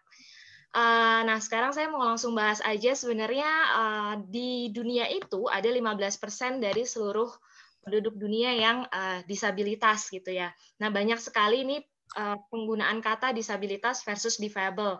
Nah, sebenarnya dua-duanya sebenarnya sama aja, cuman kalau difabel itu kan different ability. Nah, kalau disabilitas itu sebenarnya yang lebih berdasarkan landasan hukum di Indonesia. Jadi karena dulu itu sebelum sekarang kalau di tahun-tahun sekarang sudah ada undang-undang khusus gitu ya untuk teman-teman penyandang disabilitas. Kalau sebelumnya itu mereka menggunakan katanya penyandang cacat. Nah, makanya eh, banyak sekali teman-teman disabilitas yang memilih untuk disebutkan disabilitas di antara eh, daripada difabel karena perjuangan hmm. mereka untuk mengubah dari penyandang cacat ke hmm. penyandang disabilitas itu panjang sekali gitu ceritanya. Hmm. Nah, 82% eh, dari penyandang disabilitas pun berada di negara-negara berkembang dan banyaknya yang hidup di bawah kemiskinan sehingga mereka mempunyai keterbatasan untuk akses terhadap pendidikan, pelatihan dan pekerjaan yang layak. Di Indonesia sendiri eh, kurangnya akurasi data terkait jumlah sahabat disabilitas yang telah menghambat rangkaian aksi juga dan tindakan yang seharusnya bisa dilakukan gitu. Karena datanya juga sulit sekali gitu untuk mencari misalnya jumlah penyandang atau sahabat netra yang ada di Jawa Barat berapa misalnya. Atau berapa yang ada di teman-teman tunadaksa atau tunarungu uh, yang kayak gitu itu susah sekali untuk dicari di Indonesia karena datanya kurang akurat dan juga kurang transparan. Tapi menurut ILO 2011 itu ada 11 juta 500 ribu lebih dan itu jumlah yang tidak sedikit merupakan jumlah dan merupakan jumlah minoritas yang terbanyak di dunia sebenarnya untuk teman-teman penyandang disabilitas itu. Nah, untuk di Indonesia sendiri, ini data kasarnya itu ada 3,6 juta teman-teman netra di Indonesia. Kalau di Jawa Barat sendiri ada sekitar 500 ribu orang yang hidup dengan gangguan penglihatan. Dan 500 ribu ini saya yakin Bapak, Ibu, atau adik-adik semua teman-teman mahasiswa di sini jarang sekali melihat teman netra untuk jalan kaki atau berkegiatan sehari-hari di kehidupan sehari-hari gitu. In our daily life itu kita pasti jarang banget ngelihat, padahal jumlahnya kita lihat sangat banyak Nah, uh, sebenarnya yang kita sudah riset gitu ya, nanya-nanya apa sih sebenarnya yang menghambat mereka untuk berkegiatan sehari-hari. Sebenarnya yang pertama itu adalah karena minimnya fasilitas yang aksesibel, sehingga menimbulkan eh, kecemasan bagi sahabat-sahabat netra untuk beraktivitas secara mandiri. Nah, jadi teman-teman lihat sendiri kondisi fasilitas pejalan kakinya seperti apa. Yang bisa kita lihat di kanan ini semua diambil dari platform kita, dari data kita di TuneMap. Nah, itu bisa menghambat kemandirian dan produktivitas tunanetra di perkotaan. Padahal menurut riset yang dilakukan oleh teman saya ini, beliau ini tesis juga di ITB, nah beliau itu eh, mengungkapkan kalau teman-teman netra itu banyak yang masih mau untuk berjalan kaki gitu di hmm. antara teman-teman disabilitas lainnya. Jadi sangat menyayangkan mereka banyak jalan kaki um, ingin ingin jalan kaki tapi fasilitasnya seperti ini. Nah, uniknya sekali ini yang kiri teman-teman bisa lihat ini uh, diambil Maret 2017 yang diambil oleh komunitas pejalan kaki. Ini lokasinya di depan ITB di Jalan Taman Sari Nah, di kanan di. Februari 2018 atau setahun kemudian itu kita mendapatkan data yang sama melalui TuneMap. Nah, jadi ada setahun tuh rentang setahun kerusakannya masih sama dan kebayang nggak sih itu bolong kalau misalnya teman-teman netra berjalan langsung nyungsep ke lubang tersebut. Nah, hmm. jadi belum ada metode pemeriksaan yang efektif terhadap kelaikan fasilitas pejalan kaki dari pemerintah pun. Hmm. Uniknya lagi, satu tahun kemudian masih ada kerusakan juga di situ, Juli 2019. Ini masih juga diambil oleh data Tunmap di tahun Juli eh, di Juli 2019. Oke lah, eh, itu trotoarnya udah mulai dibersihin, udah mulai dirapihin, tapi lubangnya tetap ada di situ. Padahal aksesibilitas ini menggambarkan sejauh mana sih lingkungan, layanan, atau produk eh, yang memungkinkan akses untuk sebanyak mungkin orang. Jadi semua hmm. orang tuh harus bisa akses, termasuk sahabat disabilitas. Karena kalau teman-teman disabilitas sudah bisa akses, pasti non disabilitas seperti kita pun merasa nyaman untuk berkegiatan di tempat tersebut. Nah, jadi kita karena uh, permasalahan yang tadi, kita buatlah sebuah aplikasi yang memungkinkan warga kota untuk berkontribusi dengan cara memasukkan data-data fasilitas pejalan kaki yang aksesibel maupun yang tidak aksesibel. Nah, data tersebut nantinya akan diolah dan digunakan untuk menavigasi sahabat netra bepergian secara mandiri. Jadi yang kita kejar adalah empowering. Jadi bukan cuman kayak ngasih nasi aja ke mereka, tapi kita pengen mereka empower biar lebih mandiri gitu. Nah, bagaimana sih uh, bekerja gitu? Nah, TuneMap ini jadi awal mulanya data inputernya dari pengguna pejalan kaki atau teman-teman non disabilitas Nanti data tersebut akan di-convert ke pengguna tunanetra dan selanjutnya juga akan kita sampaikan ke pengguna datanya atau pemerintah karena percuma kalau misalnya kita punya data tapi pemerintahnya tidak melakukan aksi atau tindakan terhadap fasilitas kelayakan pejalan kaki tersebut. Nah, ini tebak-tebakan juga nih banyak yang belum tahu. Ini teman-teman dan Bapak Ibu sekalian pasti akan menemukan ini di trotoar perkotaan. Hmm. Cuman yang saya lihat masih banyak yang belum tahu penggunaannya. Nah, coba mungkin yang tahu kalau yang tahu boleh di chat ya, tulis di chat yang kiri itu apa, yang kanan itu apa. Jadi ada dua jenis, ada uh, yang garis-garis sama yang titik dua. Kita hmm. sebut uh, kalau bahasa Indonesia-nya ubin pemandu atau kita sebutnya guiding block gitu ya. Nah, guiding block ini fungsinya tuh beda-beda. Yang kiri menandakan untuk jalan terus, yang kanan menandakan untuk berhenti atau hati-hati. Nah, dengan dua konsep ini kita lihat seperti inilah yang terjadi di lapangan. Di tengah-tengah itu di foto-foto yang di tengah kita bisa lihat ada pot atau tanaman di atas ubin pemandu yang motifnya garis. Kan tadi garis itu jalan terus ya. Nah, hmm. kebayang kalau sahabat netra atau di atasnya mungkin yang digambar di tengah atas itu yang ada potnya juga sama, ditempatkan tepat di atas guiding blocknya. Padahal kebayang nggak sih kalau teman-teman netra atau teman-teman disabilitas yang menggunakan tongkat mengikuti jalur tersebut itu pasti akan menjadi bahaya buat mereka gitu ya. It's a disaster for them gitu. Sama juga yang kiri, yang kiri memang menandakan hati-hati, tapi ya udah putus tuh, yang kiri yang paling besar putus, udah gitu nggak tahu ke mana, ditutup sama pohon. Nah ini dan sayangnya yang sangat saya sayangkan di kiri ini, ini merupakan di daerah Jalan Pajajaran, di mana di situ terdapat satu asrama dan sekolah eh, teman-teman netra terbesar ya di Indonesia. Uh, di Jalan Pajajaran dan itu hmm. kondisi trotoarnya seperti itu di lapangannya. Ini semua foto-foto ini kita ambil dari platform TuneMap gitu. Nanti kita jelaskan lebih lanjut lagi. Nah, jadi seperti ini, uh, ini sudah bisa di Google, uh, di, di download di Play Store.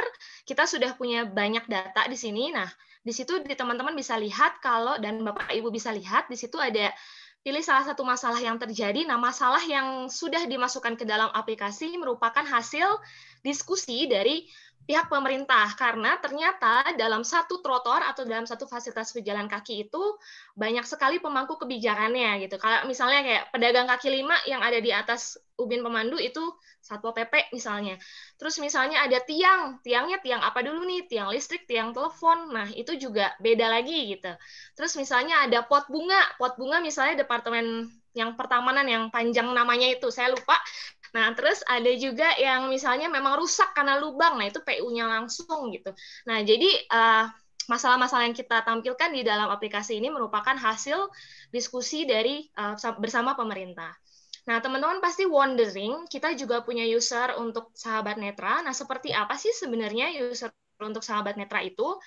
Nah, jadi oh ya, kita punya 4.000 data yang sudah terkumpul ya. Kayaknya sekarang udah sekitar hampir 5.000 malah sekarang. Untuk untuk as of now, kayaknya udah ada 5.000 dan mostly di Kota Bandung. Hmm. Nah, untuk pengguna hmm. tunanetranya, ini uh, kita sediakan mungkin teman-teman wondering kan sudah ada Google Maps. Nah, cuman kalau Google Maps di luar negeri itu memang sudah akses sudah bagus banget buat mereka. Tapi kalau Google Maps Indonesia itu masih kurang informatif. Nah, sekarang kita eh, saat ini kita bikinkan versi yang eh, versi singkatnya yang lebih informatif buat mereka dan semua yang ada di layar ini sudah bisa terakses oleh sahabat netra menggunakan voice over. Nah, jadi semuanya tuh semua yang ada teks yang ada di aplikasi TuneMap itu sudah bisa terbaca sehingga mereka bisa mendengarkan lewat audio. Hmm teman-teman juga pasti atau bapak ibu juga sini wondering emangnya sahabat netra bisa pakai handphone atau seperti apa sih mereka pakai handphone itu banyak sekali pertanyaan juga yang kalau misalnya saya tiap presentasi pasti pertanyaan nomor satunya seperti itu sebenarnya uh, semua aplikasi uh, semua handphone kita yang kita punya saat ini sebenarnya sudah ada fitur pembaca layarnya hmm. yang kita tinggal aktifkan di fitur aksesibilitas yang ada di smartphone. Nah, jadi kalau yang di talkback tadi, uh, kalau di Android namanya talkback, kalau yang di iOS namanya voice over. Nah, nanti kalau kita nyalakan, semua teks yang ada di layar akan dibacakan oleh fitur tersebut. Nah, cuman teman-teman hati-hati ya, jangan langsung mencoba dinyalain nanti karena uh, dia uh, apa namanya cara membuka aplikasinya itu berbeda dengan kita yang kalau misalnya non disabilitas. Jadi jangan asal nyalain. Nah, Sedangkan tadi aplikasi TuneMap tadi uh, kita sudah apa namanya sudah terintegrasi full integrated with talkback sama voice over. Nah karena tadi kan kita baru cuma ngasih tahu mereka nih mereka ada di mana. Nah nanti ke depannya data-data yang sudah teman-teman masukkan atau non disabilitas uh, teman-teman non disabilitas masukkan itu nanti akan kita convert di uh, audio yang akan kita masukkan di dalam aplikasi dan sekarang kita masih ongoing untuk uh, men mengembangkan platform tersebut. Cuman untuk platform yang teman-teman netra tadi juga sudah bisa di-download versi betanya di Google Play Store. Nah, datanya ini nanti akan disampaikan ke pemerintah. Nah, datanya tuh isinya ada coordinate, sama ada titik-titiknya dan juga foto kerusakan dan juga ada alamat dan tanggal waktu pelaporan. Nah, di data dashboard ini kita udah kerja udah udah banyak kerja sama-sama pemerintah Kota Bandung terutama di departemen PU-nya. Uh, eh, jadi juga dashboard ini juga kita kembangkan berdasarkan kebutuhan dan masukan dari pemerintah gitu ya. Nah, hmm. jadi kita udah bisa juga filter berdasarkan tipe hambatan karena tadi kan di aplikasi kita lihat kalau uh, apa namanya hambatannya itu banyak dan beda-beda. Nah, kita bisa filter nanti datanya berdasarkan itu. Nah, selanjutnya juga kita punya filter berdasarkan kecamatan dan kelurahan, karena ternyata di lapangannya itu sangat ngaruh. Misalnya siapa di lapangan yang memperbaiki kerusakan di kecamatan atau kelurahan tersebut gitu. Nah, selanjutnya kita juga punya pengolahan data yang berupa heat map atau peta panas gitu ya. Jadi kita bisa lihat di seluruh kota Bandung ini yang paling banyak kerusakannya itu di daerah mana sih gitu. Nah, pemerintah pun ini sudah punya user, jadi nanti mereka bisa langsung update di data dashboard kita kalau misalnya ternyata ada perbaikan di titik tersebut. Nah, yang sedang kita kembangkan selanjutnya adalah fitur pergerakan dari sahabat netra, sehingga kita tahu mereka tuh banyak berkegiatan di mana sih sehari-harinya, sehingga nantinya pemerintah punya budget atau bisa mengalokasikan dana ke daerah yang paling banyak dilalui oleh sahabat netra gitu. Kalau kita punya data pergerakan sahabat netranya juga yang sedang kita kembangkan saat ini. Nah, ini contoh pengolahan data yang kadang kita kasih ke pemerintah, jadi eh, setiap sekitar dua atau tiga bulan sekali. Nah, jadi kebanyakan ada kita bagi menjadi hambatan permanen dan temporer. Nah, jadi kayak yang tadi saya bilang, dalam satu fasilitas pejalan kaki, dalam satu trotoar itu pemangku kebijakannya banyak. Nah, jadi eh, pedagang kaki lima punya siapa, parkir liar punya siapa, trotoar rusak punya siapa, itu ribet banget dalam segi apa ya ke pemerintahnya gitu. Departemen itu beda-beda gitu. Jadi kita harus punya uh, data yang detail biar kita langsung masukin datanya ke mana gitu. Nah jadi ini hasil dari uh, obrolan kita. Jadi misalnya pot bunga sama dekorasi jalan yang menghalangi tadi jalannya teman-teman netra atau yang merusak akses tingkat aksesibilitasnya bisa kita langsung kasih tahu ke uh, pemerintah gitu ke departemen terkaitnya. Jadi ini contoh saja. Nah ini juga kadang-kadang kita memberikan rekomendasi juga ke pemerintah. Misalnya di kiri jalan itu kan di uh, apa namanya di lampu merah gitu ya atau tempat penyeberangan di mana desain yang baik itu sebenarnya yang kita bisa lihat di atas tuh yang tengah atas yang warna putih ya eh di tengah bawah yang warna putih yang bisa memencet gitu ya tombol dan terus biasanya pakai audio gitu. Jadi biar mereka tahu kapan mereka nyebrang kapan mereka berhenti gitu. Yang sebenarnya uh, fitur-fitur ini sudah bisa ditemukan di Asia Afrika. Jadi waktu itu juga kita ikut audit trotoar tuh di Asia Afrika Bandung. Nah, di sini udah ada nih salah satu yang penyeberangannya pakai fitur audio untuk sahabat netra gitu. Nah, jadi yang bagus pun guiding blocknya bentuknya L bukan bentuknya T. Nah, ini untuk teman-teman urban planning atau perencanaan dan teman-teman arsitektur kadang-kadang juga banyak yang merencanakan guiding block. Nah, banyak yang nanya bagusnya T atau L. Nah, kalau dari ilustrasi ini kita bisa lihat kalau yang bagus itu yang bawah gitu ya bukan berarti yang T itu juga salah, cuman sebaiknya yang bawah biar mereka udah langsung tahu oh ini ujungnya kita tinggal pencet si tombolnya aja. Nah, selain online, jadi kita tadi punya platform online, kita juga punya kampanye Map My Day. Karena tadi yang Pak Wicaksono Sarosa bilang ya, sebenarnya yang diperlukan juga adalah salah satunya awareness terkait pentingnya Uh, kalau misalnya terkait pentingnya kalau kota itu memang punya semua orang gitu ya. Uh, jadi kita juga ingin meningkatkan awareness terhadap warga kota untuk uh, terkait isu disabilitas dan juga aksesibilitas ini. Nah, jadi kita mengadakan kampanye secara offline, namanya kampanye Map My Day yang suka kita adakan sebelum COVID sih rutin ya, setiap tiga dua bulan sekali. Kemarin sih terakhir kita juga ngadain bulan Agustus kemarin banget, akhir Agustus. Cuman itu benar-benar terbatas aja dengan protokol kesehatan. Karena kan kita eh, selama kampanye Mehmada itu kita melakukan pemetaan secara berkelompok, di mana di situ non disabilitas bisa berinteraksi langsung dengan komunitas netra dan menanyakan langsung ini gimana sih udah akses atau belum dan kita juga langsung melakukan pelaporan melalui aplikasi TunMap-nya itu sendiri. Nah, itu yang tadi mendukung kota inklusif. Mungkin teman-teman udah tahu lah ini kota inklusif seperti apa ya intinya ramah dan untuk semua orang yang tadi Pak Wicaksono sudah uh, angkat juga. Nah, yang ini tadi kita makanya kenapa harus ada kampanye Map My Day? Karena kita ingin meningkatkan partisipasi penuh juga dari sisi warga non disabilitas dan disabilitasnya juga dan meningkatkan sikap inklusifnya juga sehingga aksesibilitasnya nanti juga teman-teman lebih aware terkait isu aksesibilitas, juga lebih tahu sebenarnya teman-teman netra tuh sehari-harinya kegiatannya seperti apa, dengan seperti itu awareness akan uh, muncul gitu ya. Jadi tadi salah satu komponen kota inklusif yang ingin kita capai juga melalui kampanye offline kita yang namanya kampanye Map My Day. Nah, untuk New Urban Agenda yang tadi juga disinggung uh, di awal, memang yang paling banyak itu leave no one behind ya, yang paling atas itu kan. Uh, dan itu yang juga mau kita coba uh, terapkan di Tunmap ini gitu, karena kan yang tadi saya bilang kalau semua fasilitas di Indonesia atau fasilitas publik di kota kita ini sudah akses untuk teman-teman disabilitas, pasti juga akan akses untuk teman-teman non disabilitas seperti kita gitu. Jadi semua langsung terangkum gitu. Kayak kayak misalnya pemerintah mungkin punya program bis khusus untuk teman-teman disabilitas. Nah, sebenarnya harusnya sebaiknya bukan khusus untuk disabilitas saja, tapi memang khusus untuk semua orang, di mana termasuk teman-teman disabilitas, sehingga ada interaksi yang terjadi tuh antara non-disabilitas dan juga teman-teman disabilitas. Nah, ini juga ada di sustainable kita juga mencoba untuk uh, align dengan sustainable development goal, tapi memang tantangannya juga tadi sudah sudah disampaikan juga di awal uh, kalau ketimpangannya itu masih uh, tidak semua daerah dapat mengimplementasikan SDG ini. Jadi kota-kota besar udah udah gencar banget ngomongin SDG, tapi ternyata uh, yang lain masih belum gitu. Jadi kurang meratanya juga untuk pencapaian SDG di Indonesia ini. Nah, itu paling yang bisa saya sampaikan secara singkatnya, Tunmap itu seperti apa dan kami melakukan apa. Kalau ada pertanyaan, silahkan bisa email atau langsung di uh, IG Tunmap nanti kalau mau lihat lebih dalam lagi, atau nanti kita bisa diskusi setelah ini. Terima kasih. Terima kasih, Mbak Ya, sekarang kita melanjut langsung aja ya ke sesi tanya jawab.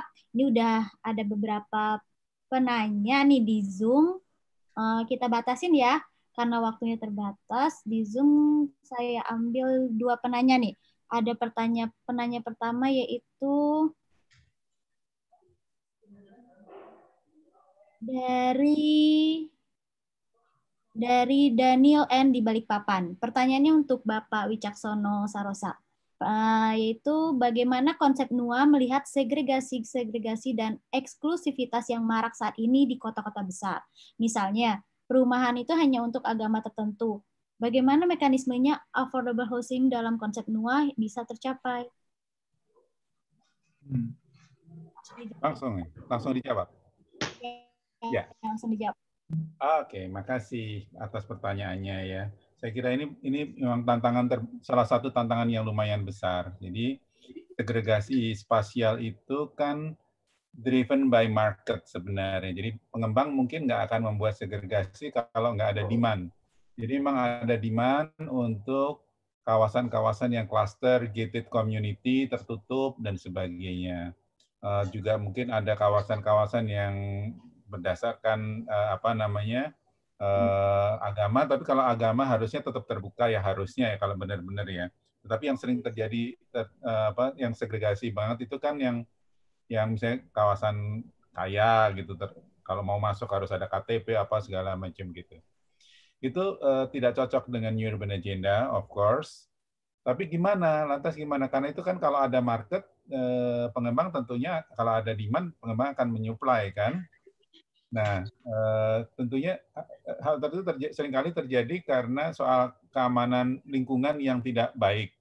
Sehingga kalau misalnya kita bisa memiliki polus, uh, polisi komunitas, ya, jadi hmm. polisi-polisi kita itu jarang sekali keliling-keliling ke.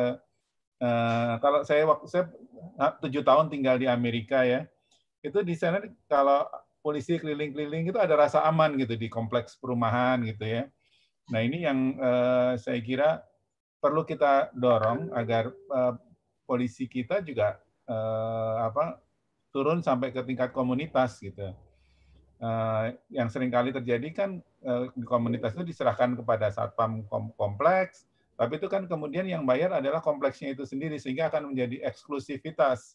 Kalau polisi dibayar negara itu harusnya uh, untuk semua ya harusnya in teori harus untuk semua gitu. Nah ini yang jadi perbaikan kota tidak bisa lepas dari pranata infrastruktur eh, non fisik ya kelembagaan termasuk kepolisian dan sebagainya. Penyediaan rasa aman bagi warga akan bisa membongkar dinding-dinding yang tinggi-tinggi, tembok-tembok yang tinggi itu gitu ya. Aturannya kalau nggak salah di Jakarta ini tembok eh, pagar tidak boleh lebih dari 2 meter. Kalau yang 2 meter pun satu meter yang solid, yang di atasnya harus transparan tapi kita lihat aja di Menteng itu sampai 3 meter segala macam yang solid gitu. Nah ini harusnya kita harus cegah sebenarnya. Karena itu akan membuat segregasi sosial. Akibat dari segregasi fisik adalah segregasi sosial. Nah ini saya pernah ke kota Johannesburg yang sangat tidak nyaman karena ya gitu semuanya dinding-dinding tinggi-tinggi-tinggi gitu sehingga akibatnya kriminalitas malah lebih tinggi. Nah itu yang harus kita hindari ya. Kita harus dorong kita kita rayu para pengambil keputusan di tingkat kota maupun pengembang untuk tidak melakukan hal itu. Tidak mudah karena ada demand-nya. Sementara gitu, Mbak Mareta. Uh, baik, Bapak. Terima kasih. Apakah sudah terjawab, uh, Bapak Daniel? Oh, sudah menjawab, Bapak Daniel. Uh, next pertanyaan berikutnya nih untuk kepada untuk Bapak Sandi Amar dari Saudara Sudirman Ngandro. Bagaimana cara mengatasi tingkat kohesivitas sosial di masyarakat akibat sistem demokrasi yang dianut agar sustainable dalam konteks sosial budaya bisa dipertahankan? Silakan dijawab langsung aja, Pak. Baik, terima kasih banyak. Ini ada dua pertanyaan seperti kelihatannya tiga malahan. Mungkin saya coba jawab singkat-singkat saja tiga-tiganya ya, Ibu. Boleh, Pak. Eh, pertama soal strategi menghadapi Singapura atau apa pun yang bisa menghambat. Itu betul sekali bahwa saya bahkan pernah tanda kutip berdebat keras dengan duta besar Singapura untuk PBB di Hanoi ketika saya menjelaskan ini. Nah, tapi si ibu itu mengerti bahwa Indonesia ini luasnya se-Eropa loh. Bukan negara kecil. Dan Singapura sangat luar biasa, terlalu kecil saya bilang begitu. Jadi panggungnya sangat kecil. Nah, eh, lihat saja benderanya kan merah putih. Singapura itu juga. Jadi kalau takut eh, anak-anak cucunya tidak bisa bekerja lagi, kan akan akan memerlukan di usaha atau tempat kerja tempat lain, saya bilang begitu ya. Dan Indonesia siap menampung. Ini banyak Singapura Indonesia kita bangun. Saya bilang begitu. Nggak bisa cukup satu Singapura itu karena terlalu kecil. Dunia semakin besar. Perdagangan dunia itu dua kali lipat dalam waktu 20 tahun, 30 tahun. Ya, Jadi nggak bisa. Akhirnya tidak akan cukup dan tidak efisien. Karena itu saya harus bangun Singapura Indonesia. Ada empat lima lagi silakan bekerja berusaha di sini, negeri penuh kasih bagi semua bangsa. silakan ya. Tapi akhirnya beliau itu dari yang tadinya marah jadi sangat ya juga ya. Satu itu. Nah, yang kedua dari Pak eh, mengenai cohesiveness tentang politik. Ya. Nah, ini memang demokrasi ya. Uh, saya kira memang sangat sulit itu kalau kalau masih dalam keadaan begini. Uh, tetapi Ya, saya mengharapkan Indonesia akan semakin dewasa dalam hal soal etika politik. Ujung-ujungnya di etika kok. Kalau etika politiknya, budaya politiknya semakin baik, tentu saling menghormati dan apanya semakin baik. Meskipun sebetulnya kalau bicara jujur saya ditanya apakah uh, bisa demokrasi ini menenteramkan dunia susah ya yang terbaik adalah yang sudah ditentukan oleh founding fathers kita, yaitu majelis yang tertinggi bermusyawarah. Itu sudah nilai tertinggi. Ya. Bahkan Aristoteles pun, uh, Socrates minta maaf, itu memberikan satu peringatan, memperingatkan bahwa demokrasi akan mengalahkan kekerabatan, nilai-nilai kekerabatan dan teologia. Bayangkan itu terbukti di masyarakat seperti Papua, sudah yang biasa sangat erat kekerabatan, berantem, perang karena urusannya berbeda uh, orientasi politik dan pencalonan ya. Nah tentu saja ini bukan hal yang mudah untuk perancang kota, tapi saya mengharap akan semakin baik. Semakin. Dan ada, ada lagi satu hal yang mendasarinya adalah kesejahteraan. Kalau kesejahteraan lebih baik, lebih baik, lebih baik, ini orientasi orang berpikir juga akan lebih baik. Nah, yang ketiga ini tentang uh, tiga pilar. Uh, satu lagi itu lupa jadi saya. Yang tiga pilar, Pak. Bagaimana cara oh, tiga pilar. Oke, tiga pilar. Timor Leste nih, Pak, pertanyaan. Uh, tiga, ya, Timor Leste. Tiga pilar. Sebetulnya sangat jelas ya. Uh, tiga pilar itu kalau dari segi sosial, budaya, ya, kita misalnya ini berkait sebetulnya dengan pertanyaan cohesiveness tadi ya. Kalau di lingkungan di yang di, mau dikembangkan di kelompok ini, saya berusaha untuk polisi lingkungannya ini Pak Wica itu dari seperti inspirasi dari pecalangnya Bali. Hmm, yeah. Ya, pecalangnya Bali itu tumbuh dari masyarakatnya menjaga keamanan lingkungannya. Luar biasa indah. Nah, Lombok pun punya Nah, karena masyarakat Lomboknya juga diberikan uh, apa kesejahteraan. Mereka pertama rumahnya jual di situ, koperasi diberikan koperasi yang mendapat bagi hasil. Jadi mereka akan merasa memiliki kota itu. Juga dalam soal memelihara lingkungan, memelihara kebersihan, ya keamanan bahkan meskipun kita tetap didik secara profesional dalam melihat security-nya, ya dengan cara-cara teknologi baik maju dan bahasa yang bagus, ya, komunikasi yang bagus itu termasuk bahasa Inggris. Tetapi kita mengharapkan nilai-nilai uh, kultur lamanya uh, tradisinya kita tetap gunakan, termasuk menggunakan pakaiannya. Jadi uh, istilahnya keamanan di sana bukan seragamnya seperti militer, tetapi seragam adat. Mereka akan menjaga, memelihara siapa pun pendatang dan yang ada di dalam. Itu yang kita inginkan ya. Nah, yang tiga tadi, tiga pilar itu tentu saja dengan sendirinya uh, secara mudah ya, uh, termasuk misalnya membagi uh, ekonomi satu tadi, lalu permukiman supaya tidak terlalu ada segregasi atau meminimalkan adanya uh, tidak punya rumah dan sebagainya. Sebetulnya ini sudah coba saya upayakan selalu dan masih kita upayakan Pak Wicak Bapak Ibu atau teman-teman ya bisa uh, pernah mendengarkan bahwa setiap izin lokasi diberikan pada satu pengembang itu 40% akan digunakan untuk fasum fasos.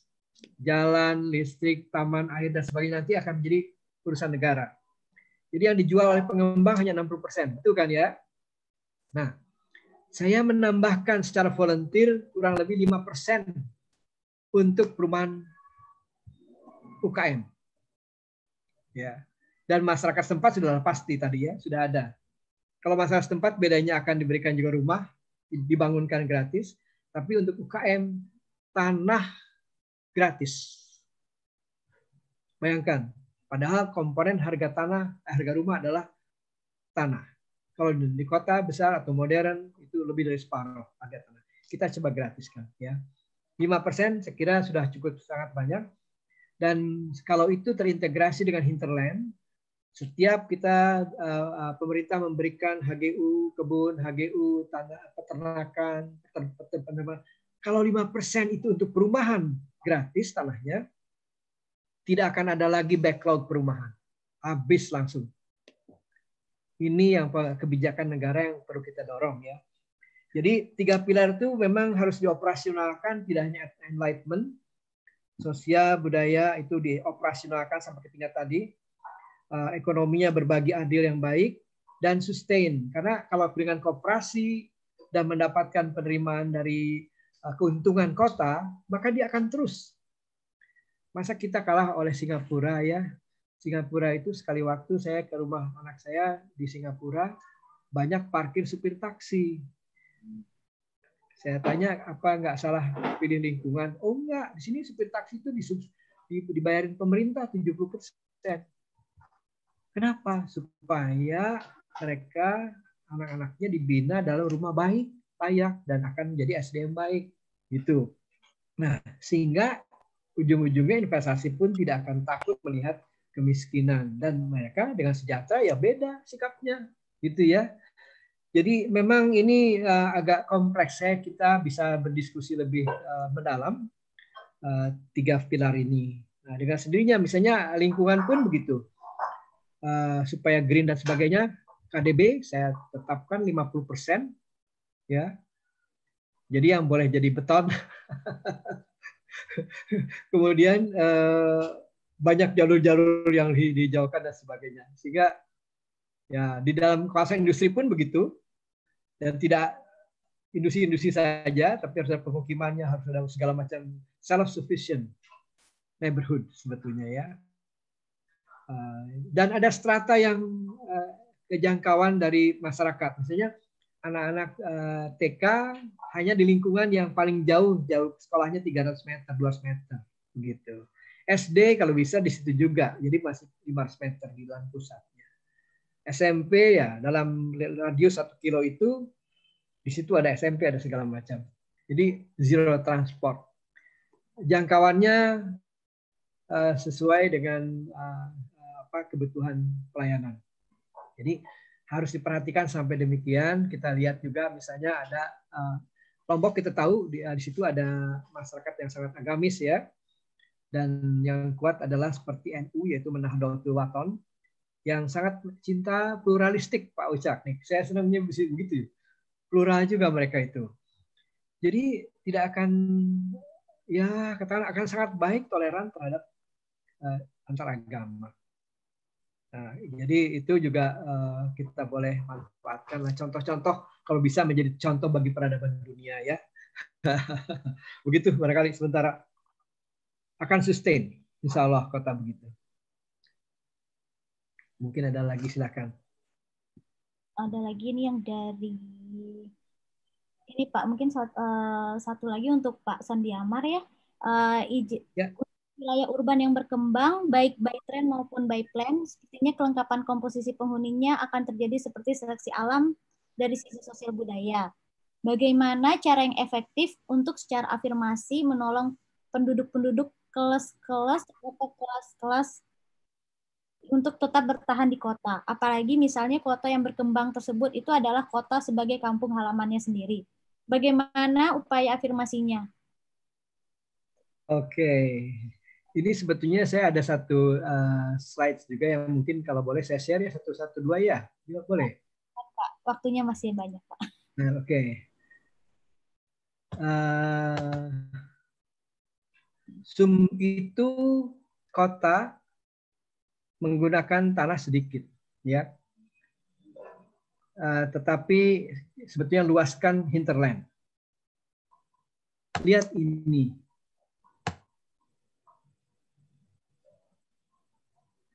sebetulnya Indonesia ini kalau ditambah saja dengan 10 butir membangun negeri ini ya tambah hutan industri 2 juta hektar akan menyerap 3 juta tenaga kerja. Tanaman pangan 2 juta hektar akan menyerap 4 juta tenaga kerja dan seterusnya ya. Real estate perkotaan 50 ribu hektar dalam waktu 10 tahun 2,5 juta. Ini akan terserap 50 juta orang sebetulnya urbanisasi yang tak, ya, artinya perpindahan yang terlalu dramatis itu bisa diminimalisir dalam pengertian akan tumbuh urban-urban center di tempat di kampung halaman mereka sendiri, ya. Karena membangun satu juta hektar eh, tanaman industri sekalipun akan muncul permukiman, bukan? Dan di situ akan ada pusat perbelanjaan, ada apa, ya. Walaupun itu hutan industri loh, ya kalau 2 juta hektar kemudian dibagi menjadi katakanlah 10 eh, lokasi, 10 lokasi itu masing-masing berarti 200 ribu hektar, berarti akan ada kota atau permukiman 300 ribu penduduk tenaga kerja. Sebetulnya permukiman itu ya perkotaan juga kalau begitu padat kan akan ada processing dan sebagainya di situ. Nah ini yang saya katakan sebetulnya kita membangun itu eh, harus ada afirmatif yaitu membuka lahan-lahan baru, mengembangkan pemukiman-pemukiman baru di tempat itu juga. Bahkan 5% dari hutan industri itu, 5% dari tanaman pangan itu disiapkan tanahnya gratis untuk rumah-rumah yang bekerja, untuk mungkin yang kerja di UKM, yang usaha kecil ya, para medis, guru gitu ya. Jadi ya, rumah itu akan bukan hal yang uh, tidak bisa dijangkau. Ya, apalagi mereka kerja di situ juga dengan cicilan uh, uang dari gajinya bisa karena lebih murah, harga tanahnya tidak usah dibayar. Nah, ini kalau mencegah secara regional development, uh, ini minta maaf kalau saya jadi sedikit melenceng. Perencanaan wilayah dan kota, perencanaan wilayah itu harus berani mengatakan merencanakan mewujudkan wilayah pertumbuhan baru di wilayah itu, yaitu yang sifatnya agro dan marine atau yang di luar perkotaan.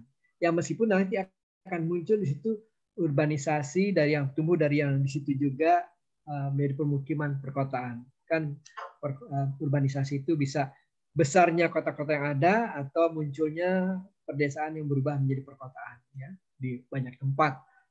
Kalau seluas Indonesia ini di banyak tempat, insya Allah akan baik. Jadi tidak akan secara dramatis uh, uh, orang berpindah tembak langsung kota-kota besar, tapi akan bertahan bahkan indah sekali di masing-masing. Nah, ini kira-kira itunya begitu dan ini bisa dilakukan dengan cara supaya sustainable ya. Supaya sustainable itu dengan cara pelembagaannya. Jadi pelembagaannya itu harus menggunakan seperti ini. Sebentar ya, mudah-mudahan ada di sini. Maaf, maaf. Bahkan saya merancang satu industri perikanan nasional dan nelayan itu ada 20 kawasan titik lokasi di Indonesia dan memiliki kota cantik nelayan dan nelayan itu tidak usah bayar tanahnya. Terbayar dari karena nelayan pun harus jadi koperasi nelayan ya. Nah, saya mudah-mudahan ada di sini. Nah, ini dia. Oops.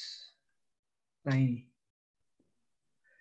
Jadi eh, perusahaan-perusahaan itu sebaiknya bukan perusahaan PT masing-masing, tapi harus sesuai dengan pasal 33 yaitu usaha bersama. PT itu bisa joint venture antara pengusaha jagoan seperti misalnya dari luar negeri, seperti Pokpan kah, apa siapa dari dalam negeri misalnya ada perusahaan seperti jagoan yang ya katakanlah ada seperti Sinarmas, mereka kan profesional sekali ya. Nah, kita memerlukan orang-orang profesional itu. Cuma kali ini ke depan mungkin kita coba kemas.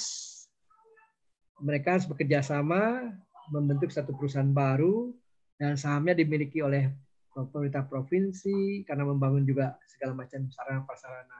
Oleh kabupaten juga membangun jalan listrik dan air ya desa. Kemudian masyarakat setempat masyarakat adat dikoperasikan juga. Dan pekerja sudahlah pasti. Bahkan di sana untuk meningkatkan SDM ada saham seperti saya lihat di Jerman dan di Skandinavia perusahaan itu memberikan saham kepada uh, lembaga pendidikan, kepada sekolah vokasi atau pendidikan tinggi atau lembaga research. Jadi SDM-nya dalam pengertian budaya dalam pengertian teknologinya itu terbangun karena ada pertumbuhan ekonomi yang saling bersinergi. Wah, sustain kalau begitu. Ya, tidak akan sendiri-sendiri, tidak akan ada yang maju sendirian, kayak sendirian atau perubahan yang dramatis tidak akan begitu. Mudah-mudahan kalau begitu akan ini indah sekali kok ini pasal tiga dikontrakkan dan tidak usah susah. Hanya dengan satu perpres, hanya dengan satu peraturan presiden mengatakan setiap pembangunan uh, kita memerlukan pasca COVID misalnya cipta kerja. Yuk kita bangun satu juta hektar dalam waktu lima tahun ke depan kebun di mana-mana gampang cari dapat langsung 30 lokasi. Yuk kita bangun hutan industri, langsung dapat tiga bulan kemudian bisa. Sebulan kemudian bisa dapat itu lokasi. Nah, sekarang pertanyaan modal dari mana? Ah, ini financial engineering. Mudah. Uang banyak di bank. Uang banyak di luar negeri pun. Kalau negara sudah mau bantu, oke, okay, silakan bangun sana fasilitasi, dijamin dan sebagainya atau mendepositkan adalah itu caranya financial engineeringnya modal tersedia, terbayar oleh kegiatan. Jadi kita bisa uh, menumbuhkan ekonomi baru di banyak tempat, sekaligus permukiman baru menjadi permukiman pedesaan dan permukiman yang ada kotanya juga pasti. Karena akan ada ruko, ada penginapan, ada restoran, ada kantor, dan sebagainya. Ada industrinya juga di situ. Begitu ya. Sementara kalau mau lebih dalam lagi, ayo. ini bahwa satu satu apa satu hal yang sangat uh, kita perlu mendalam ya. Sok silakan Bu moderator. Sementara begitu. Ini ada pertanyaan dari YouTube. Uh, ini untuk ketiga narasumber ini pertanyaannya. Uh. Uh, pertanyaannya sumber masa depan kota 2045 untuk semua lebih urgentnya menyiapkan anak-anak sebagai generasi yang membangun masa depan atau menyiapkan ruang kota atau bagaimana? Ini bisa dijawab dulu oleh Pak Son dulu, mungkin langsung dilanjutkan oleh Pak Wicaksono dan Teh Gita. Baik, baik, baik. Saya kembali ke tadi. Jadi uh, manusia Indonesia ini ya kita coba berikan pendidikan, kemampuan, keterampilan dan sebagainya ya untuk bisa mengelola sumber daya alam. Kalau dalam bahasa spiritualnya, bahasa agamanya kemarin baru bahas satu apa ini eh, ekonomi syariah INL, apa pembangunan uh, syariah. Kita berterima kasih kepada Tuhan karena kepada Allah karena diberikan sumber daya alam yang luar biasa kaya kan. Sebetulnya modal kita luar biasa ini maha kaya ini, ya. Nah, jadi bukan hanya kota ini, ya, kebetulan saja kita sekarang zoomnya apa topiknya mengenai kota, tapi ini coba hutan dari mulai hutan industri, tanaman pangan, kebun, ternak, ikan. Bahkan kalau saya melihat SDM ya, migas dan minerba ini karena dia tidak renewable ya secukupnya sajalah. Jangan garuk semua ya Pak Wicak, sayang. Yeah yang renewable saja lah kita coba pariwisata luar biasa. Aduh, saya pernah presentasi di Nice ya dekat di Cannes itu yang sebelahnya Nice di Prancis tempat uh, apa uh, festival film dunia. Uh, 200 orang pemilik kapal cruise dunia. Mereka bilang, Mr. Diamar, I know your country itu bagus seperti surga. Kami katanya separuh kapal cruise kami ini mau mampir ke kapal ke negara kamu tuh cuma tolong berikan ini ini. Yang dibilang berikan ini ternyata sederhana saja. Bukan pelabuhan marmer dengan keran emas, bukan. Karena di pelabuhan mereka pun tenda dengan hiasannya bunga, bukan ya ya Pak Ucak ya. Bukan sesuatu yang luxury dalam pengertian artificial. Betul. Eh, dan proses yang sangat mudah, keamanan yang baik, smiling dan sebagainya. Ya, kita contoh kita punyalah Bali misalnya beberapa tempat yang sudah jadi contoh sangat bagus. Jadi uh, uh, basis industri kita itu akan berkembang baru untuk sampai dengan tujuh saja. Wah, sudah maha kaya industri kita. Karena itulah saya tempatkan 32 32 juta tenaga kerja Nah, SDM kita ya kita siapkan untuk ini, bukan SDM umum. Jangan SMU saja. Harus ada vokasi-vokasi-vokasi ya, pendidikan profesional yang kita lihat sampai 8 sampai tahun 45 itu apa saja yang kita perlukan. Nah, Malaysia minta maaf saya harus mengatakan sangat bagus karena dia berani mengatakan negara itu bahwa 40% lapangan apa, eh, angkatan kerja pada tahun tertentu harus tamatan vokasi. Misalnya berani begitu yang disesuaikan dengan potensi negaranya. Nah, maritim, boy, ini maritim saya berani sekali mengatakan Indonesia menjadi pusat dunia. Real estate, kawasan perkotaan dengan sendirinya ya, tapi dengan cara tadi yang adil dan benar-benar. Jadi bukan hanya kota, tapi kota dan hinterland yang juga perdesaan. Termasuk pedesaan itu sistem nilai budaya yang menjadi pilar NKRI ini ya. Yang paling penting kekayaan dari desa itu apa? Selain alam nilai-nilai budaya yang luar biasa menurut pandangan orang apalagi harusnya kita nyadari pandangan orang sekalipun luar biasa. Indah. Wah begitu. Silakan silakan. Pak. Silakan dijawab oleh Pak Wicaksana Baik, eh, terima kasih Mbak Marita sebagai moderator. Saya akan kaitkan dengan, kalau nggak salah tadi di chat itu ada juga pertanyaan terkait bonus demografi, itu oh. eh, apa namanya, positif atau negatif. Jadi saya mau kaitkan itu. Sebenarnya sekarang ini, situasi di Indonesia ini, kita ini eh, boleh dikatakan di critical juncture. Critical juncture itu di kayak persimpangan lah ya kalau kita mampu mengelola dengan baik, seperti tadi Pak Sondi Amar menyebutkan generasi muda, pendidikan, eh, dan sebagainya, maka bonus demografi itu kita bisa dapatkan. Tetapi kalau tidak, kita bukan dapat bonus demografi, yang kita dapatkan adalah beban demografi. Hmm. Kalau kita lihat uh, piramida penduduk yang ada sekarang,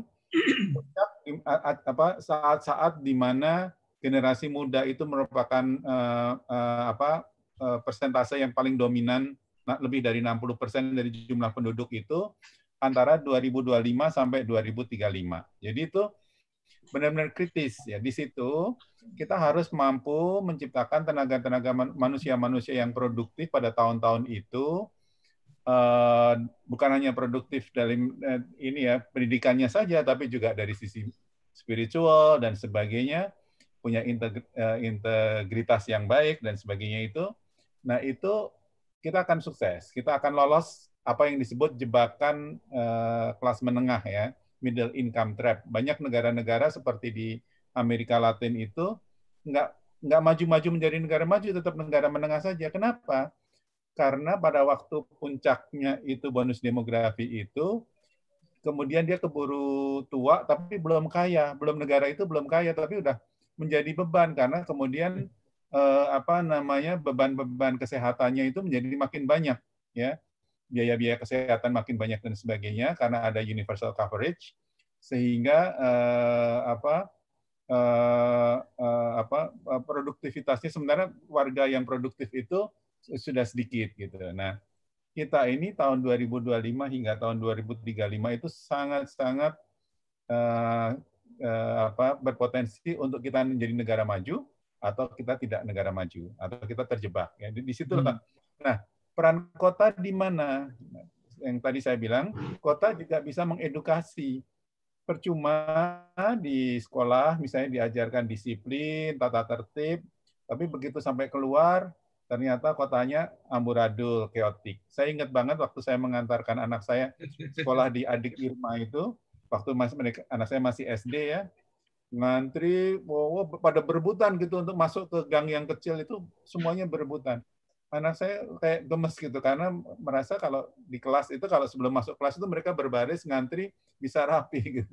Nah itu kan menunjukkan sebenarnya bahwa kota bisa menegasi edukasi yang ada di kelas. Nah, sama hmm. halnya dengan kesemrawutan yang sekarang ini makin lama makin parah kan, lampu merah dilabrak. Hmm. Uh, kalau saya lihat sebenarnya kalau di Jakarta ini orang melawan arus tuh udah luar biasa, udah suka-suka banget.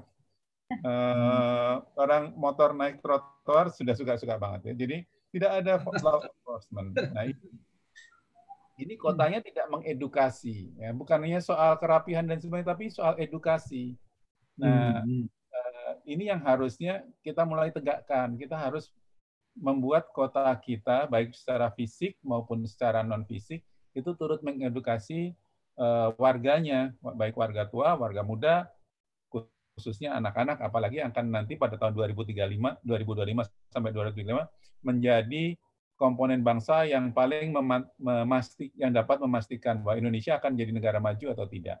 Kalau enggak, ya kita hanya cuma punya cita-cita Indonesia emas tapi tidak terwujud. Hmm. Itu saja, Mbak hmm. Mareta, jawaban saya. Baik, Bapak, terima kasih. Uh, lanjut, Teh Gita. Sebenarnya jawabannya udah dirangkum tadi sama dua narasumber sebelumnya sama sih kan intinya di 2045 ini kan kita punya bonus demografi tadi kan ya. Nah, itu jangan sampai bonus demografinya menjadi beban.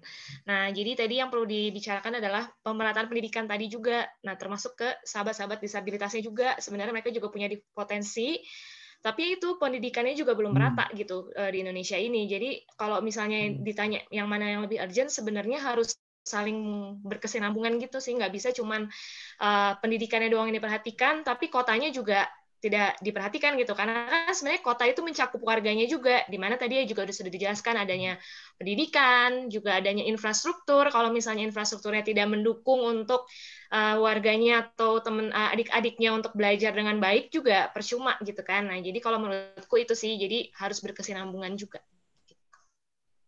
Terima kasih. Ya. uh, uh, ini ada pertanyaan lagi dari Bapak Hendy uh, dari Bandung untuk untuk Bapak Wicak, bagaimana konsep terkait pengentasan kawasan kumuh, perkotaan, dan NUA? Hal ini terkait program Kementerian PUPR. Wow, program Kementerian PUPR nih, yaitu 100 100 yang semestinya pada tahun 2019 itu kawasan kumuh yang mencapai 38.431 hektar seluruh Indonesia sudah tuntas alias nol. Sementara itu akses dari pembangunan kawasan kota atau perkotaan kawasan kumuh already exist. Silakan langsung dijawab aja, Pak. Oke. Baik, makasih. Morales saya menangkap kira-kira pertanyaannya. Jadi, eh, bagaimana apa yang harus kita lakukan dengan kawasan kumuh? Kawasan kumuh, eh, kalau menurut saya sebagian besar bisa diperbaiki. Jadi, eh, eh kampung improvement ya, program-program kampung improvement itu bisa dilakukan ya. Eh, tapi jangan hanya mengandalkan pada pemerintah karena eh, eh, budget pemerintah ya seperti sekarang memang ada program kotaku dan sebagainya itu nggak akan ngejar pertambahan perkampungan kumuh dengan kemampuan pemerintah untuk memperbaiki kampung itu tidak akan ngejar. Nah, oleh karena itu harus mengajak masyarakat untuk juga memperbaiki lingkungannya sendiri ya. Jadi, nah supaya mereka memperbaiki lingkungan sendiri gimana? Mungkin harus ada insentif, disinsentif dan sebagainya juga swasta. Swasta itu ada persyaratan eh, satu, dua, tiga ya. Kalau bangun satu rumah mahal, ada dua rumah menengah, ada persyaratan tiga rumah kecil. Saya sudah eh, di beberapa occasion menyarankan agar yang komponen tiga itu bisa dikonversikan dengan perbaikan kampung. Jadi misalnya eh, pengembang Bintaro, di sekitarnya kan banyak perkampungan kumuh tuh di Bintaro itu. Pengembang Bintaro tidak harus membangun rumah kecil di tempat yang jauh yang malah nggak laku, daripada begitu kewajibannya dikonversi dengan perbaikan kampung kumuh di sekitarnya saja gitu. Nah, dengan begitu maka akan uh, lebih cepat perbaikan eh, eh, kampung-kampung kumuh itu menjadi lebih baik. Nah, bagaimana dengan perkampungan kumuh yang lokasinya ada di tempat-tempat yang uh, memang hazard prone ya di pinggir sungai yang mepet sekali ke sungai dan sebagainya. Itu memang harus pindah memang harus mereka digeser. Tapi pindahnya jangan sampai dipindah ke uh, tempat jin buang anak di ujung berung atau di mana, eh ujung berung sih enggak ya, pokoknya yang jauh lah gitu ya. Nah, uh, yang akhirnya menyulitkan mereka untuk mendapat meningkatkan kesejahteraan. Seringkali ditempatkan di tempat misalnya di Marunda, tapi mereka tetap masih kerja di Jakarta. Nah, walaupun pun dikasih angkutan transportasi gratis, tetap saja tidak memadai karena akhirnya mereka habis waktu wirawiri ya. Nah, harusnya eh, tidak dibuang ke tempat yang jauh dari bukan dibuang, harus dipindahkan ke tempat yang eh, tempat sumber peng, mata pencahariannya, livelihood-nya. Sehingga harus dekat dengan sumber mata pencaharian. Itu yang harus diusahakan. Lahan gimana? Lahan itu bisa dikerjasamakan. Pak Sondi Amar tadi mengatakan uang kalau diusahakan ada ya ternyata. Uh, padahal semua orang membayangkan uang itu sulit gitu. Beliau bisa tuh ternyata gitu. Jadi semua itu kalau kita mau punya upaya itu bisa. Nah, sekarang kembali ke 100 100 itu memang kalau saya ngobrol-ngobrol dengan beberapa orang yang turut menginisiasi 100 100 itu itu memang sebagai apa ya seperti juga SDG bahwa tahun 2030 sudah tidak ada orang miskin itu hampir nggak mungkin ya sebenarnya. Nah 100 100 juga more or less hampir tidak mungkin. Tapi kita jangan ngomong begitu supaya nggak patah semangat. Kita tetap harus berusaha. Udah lewat sih tahun 2019 kita bisa geser lagi. Itu jauh lebih ambisius daripada SDG 100 100. Tapi itu untuk menyemangati bahwa perkampungan kumuh harus sudah tidak ada dan akses pada sanitasi sehat maupun uh, air minum harus bagi semua orang. Ya. Mungkin sekarang kita terapkan aja tahun 2030. Ya, sesuai dengan SDG.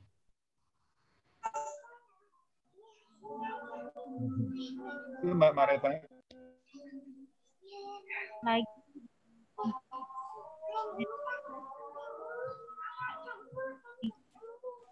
Salah satu menarik terkait dari adalah pentingnya mempertimbangkan dan memperhatikan keberadaan ini dalam kota. Nah, pertanyaannya bagaimana konsep kota yang baik dan sustainable dengan tetap memperhitungkan keberadaan imigran di dalam kota tersebut? Pertanyaan yang satu, terus ada lagi pertanyaan yang kedua, Pak, dari Akim Tikara. Uh, mendasar saja, Pak, dalam beberapa kasus yang saya temui, ada banyak permasalahan terkait kekuatan regulasi tata ruang kita Contohnya RT RW yang ada itu untuk melancarkan proses pembangunan sering kali RT yang mengikuti kondisi lapangan. Bagaimana Bapak menanggapi untuk kasus hal tersebut? Ya. Nah, tadi suaranya agak berbet-berbet tapi nggak apa-apa saya yeah, baca yeah. Di yeah. sini. Uh, apa namanya? Yang RT RW dulu ya. Itu sebenarnya memang kita ini lemahnya. Kita senang membuat rencana tetapi nggak ada enforcement, nggak ada uh, apa namanya uh, penegakan rencana itu sendiri sehingga kita nggak konsisten. Harus ada, nggak bisa hanya rencana-rencana kemudian kita berharap warga akan compliance ya compliance dari masyarakat itu dibangun dengan insentif disinsentif maupun dengan enforcement. Tanpa itu nggak akan bisa. Sama juga pakai masker juga begitu. Kalau nggak di edukasi, kemudian insentif disinsentif, kemudian uh, law enforcement. Ya. Baru tata ruang bisa bisa dilaksanakan. Tanpa itu percuma gambar-gambar itu menjadi bagus tapi nggak nggak dilaksanakan ya. Kemudian yang terkait dengan keberadaan imigran ya pendatang ya bisa juga yang dari desa bisa nggak nggak selalu harus dari negara lain. Kalau kita memahami kota sebagai sarana penyejahteraan semua orang berarti itu bukan hanya untuk warga saja tapi juga bisa untuk semua orang. Tapi waktu saya bicara begini di Surabaya saya diprotes sama Bu Risma. Eh, setelah acara beliau uh, menyampaikan ke saya nggak bisa begitu Pak. Saya ini pusing sekali menghadapi berbagai persoalan dari pendatang dari luar kota Surabaya. Saya bilang iya Bu, uh, ini tidak bisa diatasi hanya oleh kota itu sendiri. Harus ada kebijakan perkotaan nasional yang sifatnya nasional sehingga pressure kota itu uh, yang tadi tadi yang saya di awal presentasi saya ada 80 juta tambahan orang dari tahun 2020 sampai 2045 itu tidak menekan pada kota-kota yang sudah pressure-nya sudah, sudah beyond capacity gitu. Jadi bisa disebar ke tempat-tempat lain gitu. Nah ini yang uh, harus ada kebijakan perkotaan nasional. Kalau nggak ada, dibiarkan begitu, kota-kota pasti kewalahan. Sudah pasti kewalahan, for sure. Nah itu PUPR apa Bapenas? Nah monggo saja Tapi saya sudah mendorong kedua-duanya baik di PUPR maupun Bappenas untuk untuk kebijakan perkotaan nasional. Itu Mbak Mareta. Terima kasih Pak Wicak. Ini ada pertanyaan untuk seluruh narasumber. Eh, Bagaimana dari Ari Asmoro dari Kota Bandung, bagaimana merealisasikan kawasan perkotaan yang tidak mengakupansi kawasan perdesaan? mungkin uh, yang mau jawab duluan boleh Pak Wicak atau Teh Gita atau Pak Son? Boleh. Uh, jadi di dalam uh, ilmu perencanaan itu kan kita mengenal apa yang disebut urban growth boundaries ya. Jadi daerah uh, yang membatasi daerah itu tidak harus 100% hijau karena kalau 100% hijau mungkin juga pemiliknya tidak bisa memanfaatkan bisa juga uh, kepadatannya sangat rendah. Ya. Jadi banyak kota-kota di dunia itu supaya tidak menjadi sprawling itu diterapkan apa yang disebut urban growth boundaries. Kalau di Malaysia itu namanya sempadan per, pertumbuhan perbandaran atau apa kurang lebih seperti itu kan kota itu perbandaran ya. Jadi Malaysia sudah menerapkan di Cina juga menerapkan more or less. Jadi daerah-daerah yang dinyatakan subur itu no development zone. Jadi uh, boleh memang ada rumah, tapi mungkin itu 20% dari KDB dari keseluruhan gitu ya. Nah, tidak merusak ini. Nah, kita uh, antara peraturan sama pelaksanaan di lapangan selalu gapnya sangat-sangat besar. Uh, sehingga yang terjadi ya kayak Kerawang yang sangat subur uh, dan dulu dibantu irigasi teknis dengan dana pinjaman dari World Bank, PUPR, akhirnya berubah jadi pabrik Ya, sayang sekali kan, Klaten, Delanggu yang juga subur, mulai pelan-pelan sekarang juga sudah banyak pabrik-pabrik tumbuh di sana. Uh, padahal itu ada irigasi teknis yang juga uh, dana APBN atau dana pinjaman dari Bank Dunia atau dari lain tempat gitu. Nah itu kan sesuatu yang kita tidak menggunakan sumber daya kita secara efisien, pada sumber daya kita cuma sedikit, karena kita tidak bisa enforcing the law. Itu. Sementara itu dulu yang bisa saya sampaikan. Mungkin saya ingin share juga sedikit ya. Baik, Pak. Mareta. Uh, tapi saya juga ingin share untuk tadi ada dua hal, kemiskinan dan kumuh di kota. Kemiskinan di negara, kumuh di kota. Ya. Coba kalau kita lihat lagi ini, slide saya ini, bayangkan kalau ini dibangun 10 tahun, berarti tahun 2030 selesai, maka akan ada 50 juta orang bekerja. Ya. Miskin itu apa sih? Miskin itu intinya tidak punya uang. Kenapa tidak punya uang? Karena nganggur atau upahnya rendah. Tapi kalau kita buka lapangan kerja baru, ah, kenapa begitu? Karena lapangan kerjanya tidak tersedia. Jadi mohon maaf kalau saya ingin mengatakan bahwa sebetulnya negara tidak berhasil menyiapkan lapangan kerja. Sehingga tamatan sekolah terbaik pun akan digaji UMR. Ya.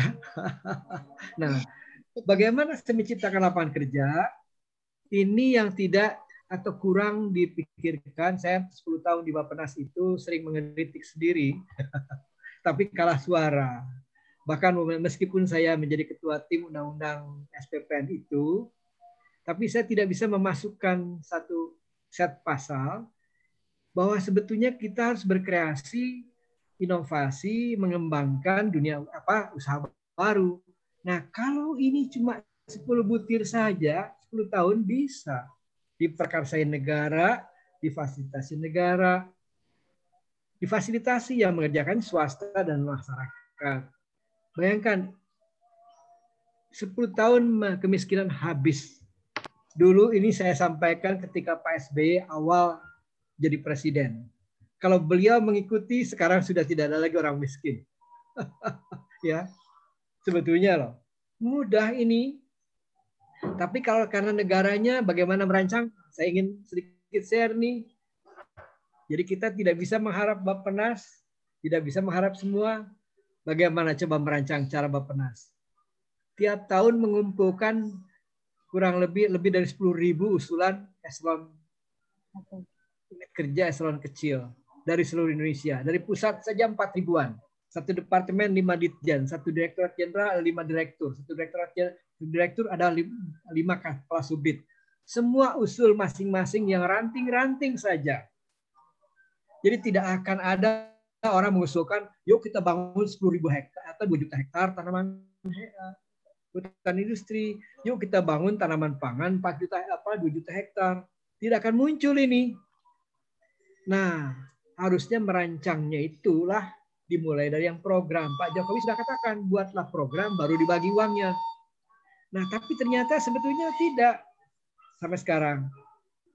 Padahal itu pun kalau untuk namanya kegiatan ekonomi ini tidak usah pakai uang negara, ya, uh, tidak usah pakai uang negara.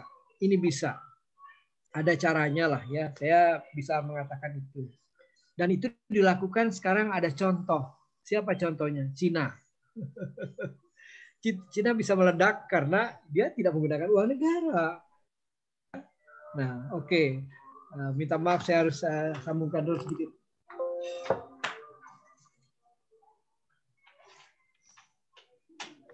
Nah, nah kemudian soal permukiman. Lagi-lagi, memang uh, untuk menekan tidak berpindah ke kota, tapi mengembangkan satu permukiman perkotaan baru, itu tidak harus ada di kota-kota yang ada, tetapi seperti yang tadi digambarkan, berarti 50 juta orang tenaga kerja baru ini kan 50 juta rumah, 50 juta keluarga, dan mungkin 20, 30, 40 persen akan berbentuk seperti perkotaan. Ya, Nah, jadi kita rancangnya bukan di dalam kota tapi di luar. Nah, kemudian sekarang meningkat ke yang kumuh. Teman-teman, ini persoalan kekumuhan ini harus dengan cara inovasi. Contoh yang paling dramatis. Jakarta ada 11 sungai dari utara dari selatan ke utara. Kalau hanya memindahkan orang yang di pinggiran bantaran, satu uang negara terbatas. Yang kedua pasti pindahnya jauh. Betul kan? Tapi kalau kita intinya kita bebaskan bukan hanya di bantaran, tapi 350 eh, 300 meter ke kiri dan 300 meter ke kanan atau 200 meter ke kiri atau 200 meter ke kanan, kita tata ulang. Kita tata ulang ya. Maka akan ada tanah kosong seluas itu dan kita bangun dengan KDB cuma 40% atau 30%. Bantarannya jadi hijau, yang KDB dan jadi vertikal ke atas. Maka yang tadinya rapat kumuh ya kalau pindah ke atas lima lantai saja sudah tinggal 20, cuma 20 persen. Betul kan? Maka sisa 80 persen tanah bisa jadi taman dan bisa menjadi perumahan baru untuk penghuni baru. Dan itu terbayar semua oleh keuntungan harga tanah. Kalau harga tanah tadinya misalnya 10 juta di sekitar itu, begitu dibongkar, ditata ulang bisa menjadi 45-40 juta maka sebetulnya si rakyat yang di bantaran itu bisa mendapat rumah gratis, bahkan mendapat bagi hasil. Saya bisa contohkan hitungannya, tapi tentu saja tidak dalam uh, apa, tidak dalam uh, pertanyaan yang, yang simpel ini ya. Itu bisa. Jadi berpikirnya redevelopment akan meningkatkan kualitas lingkungan tadinya yang hijaunya tidak ada menjadi 60% bisa. 50% bisa, apalagi cuma 30%. Vertikal ke atas, semua yang di bantaran atau yang di situ punya dia punya rumah dan penghasilannya di situ juga dan mendapat bagi hasil usaha kawasan itu. Nah, kemudian di Bandung ini Bapak Ibu, teman-teman. Kang Emil pernah bertanya, eh, Pak Sondi, kumahanya kita ingin membangun eh, LRT tidak ada yang mau. Ya pasti saya bilang LRT tidak ada yang mau. Kenapa? Tidak visible. Kenapa? Ya dua, dua dolar tiket baru bisa mengembalikan investasi. Mana ada orang Bandung mau naik kereta api dua dolar? Ya, naik angkot 4.000 perak kok, naik ojek juga lebih murah, motor juga bisa. Nah, tapi bagaimana supaya ada sekaligus mengembangkan, mengubah tanah eh, kawasan kumuh, kumuh menjadi indah dan bagus dan produktif, itu bisa. Kita tahu bahwa kalau dipasang stasiun, maka harga tanah naik dua kali. Tapi kalau kita tata ulang menjadi bagus, maka naik menjadi empat lima kali. Yuk kita ajak rakyat, hei rakyat, mari kita tingkatkan. Mau nggak untung tanah ini menjadi empat lima kali? Oh mau, oke. Tapi satu buat bayar stasiun ya, buat bayar kereta api ya, pasti mau. Itulah yang saya gambarkan sebagai public-private people partnership. Ada people-nya, ada P yang keempat. Negara selama ini hanya 3P. Public Private Partnership. Tapi saya tambahkan satu P. People. Kalau di pedesaan ada masalah adat setempat jadi pemilik saham. Pekerja jadi pemilik saham. Tapi kalau di kota, pemilik lahan atau yang tinggal di lahan itu, yang tempat kumuh itu menjadi pemilik saham. Ya, ada people di sana. Public private people partnership maka akan sustainable orang mau tetap di situ dengan yang jadi bagus, dengan produk jadi gajinya lebih tinggi, mengubah nasib. Harus dengan inovasi, tidak dengan cara biasa dan pemikiran biasa. Ini yang juga ingin coba saya selalu upayakan ya, hanya dengan satu peraturan presiden. Dan bisa diinisiasi dari ATR saja. Maka masalah PU bisa selesai. PU memang tidak akan mungkin bisa, karena hanya infrastruktur dengan uang yang sangat terbatas. Tanpa uang negara bisa. Begitu barangkali menggebu-gebu ya. Semangat luar biasa ini. Dah. Mangga. Silakan Mbak Marita. Oke, saya ya berarti ya. Sebenarnya saya bukan ranahnya untuk menjawab hal ini sih, tapi pernah baca tentang community based governance, uh, di mana sebenarnya kalau misalnya tadi di PDA, kawasan pedesaan benar banget tadi yang Bapak uh, Bapak bilang gitu ya ada people-nya jadi di mana mereka punya authority juga untuk uh, merencanakan dan juga uh, merencanakan bagaimana sih kawasan pedesaan yang dibuat gitu ya. Jadi harus ada community based tadi sih community based governance di mana uh, nggak cuman bottom up atau up bottom tapi juga hybrid jadi dua-duanya saling berkolaborasi juga untuk membuat uh, sebuah kawasan yang nggak cuma di kota doang nih yang uh, bisa di dirancang atau dibangun, tapi juga di kawasan pedesaannya. Nah, kalau di kawasan pedesaan memang yang kuat adalah resourcesnya kan biasanya semuanya punyanya people atau masyarakatnya sendiri. Makanya bagaimana caranya pemerintah harus bisa tuh eh, bangun-bangun bareng-bareng community based governance tadi gitu sih. Kalau dari aku. Ya. Terima kasih kita karena berhubung waktu sudah habis. Jadi untuk sesi Q&A ditutup ya, kita tutup. Uh, ini kesimpulan dari dari tiga narasumber ini kan tadi. Boleh nggak satu kalimat saja? Boleh Pak. Ya. Kesimpulannya mungkin jadi kan agar kota masa depan itu bisa. Kan sebelum sebelum disimpulkan, boleh saya uh, tambah satu satu dua oh, kalimat? Boleh Pak, mangga Pak. Silakan Pak. Pertama, saya nih bangun kota baru Bandar Kayangan Ya. Ini teman-teman yang hadir di sini saya percaya bisa bantu dari mulai pembicara sampai yang mendengar ya Pak Ca, eh, Mas Wica, Mbak Gita, tolong ya bantu ya kita ya biar kota ya. kita juga harus ramah kepada dia kepada ini kepada teman-teman kita yang memerlukan itu. Iya. Pak Wicak dengan segala macamnya, mohon maaf Pak Wicak ini luar biasa ini. Bantulah kami Pak. Juga sama-sama Pak juga sebetulnya saya sedang berupaya untuk mendorong peraturan presiden ini di Kementerian Dalam Negeri. Iya, bisa juga. Supaya ada inovasi gitu, Bang untuk. Ya. Nah, ini kita harus beramai-ramai lah kita ini kan yang public ya, private ya, people partnership. Dah itu saja dan mohon maaf kalau ada yang kurang ya. Wassalamualaikum warahmatullahi wabarakatuh. Waalaikumsalam. warahmatullahi wabarakatuh.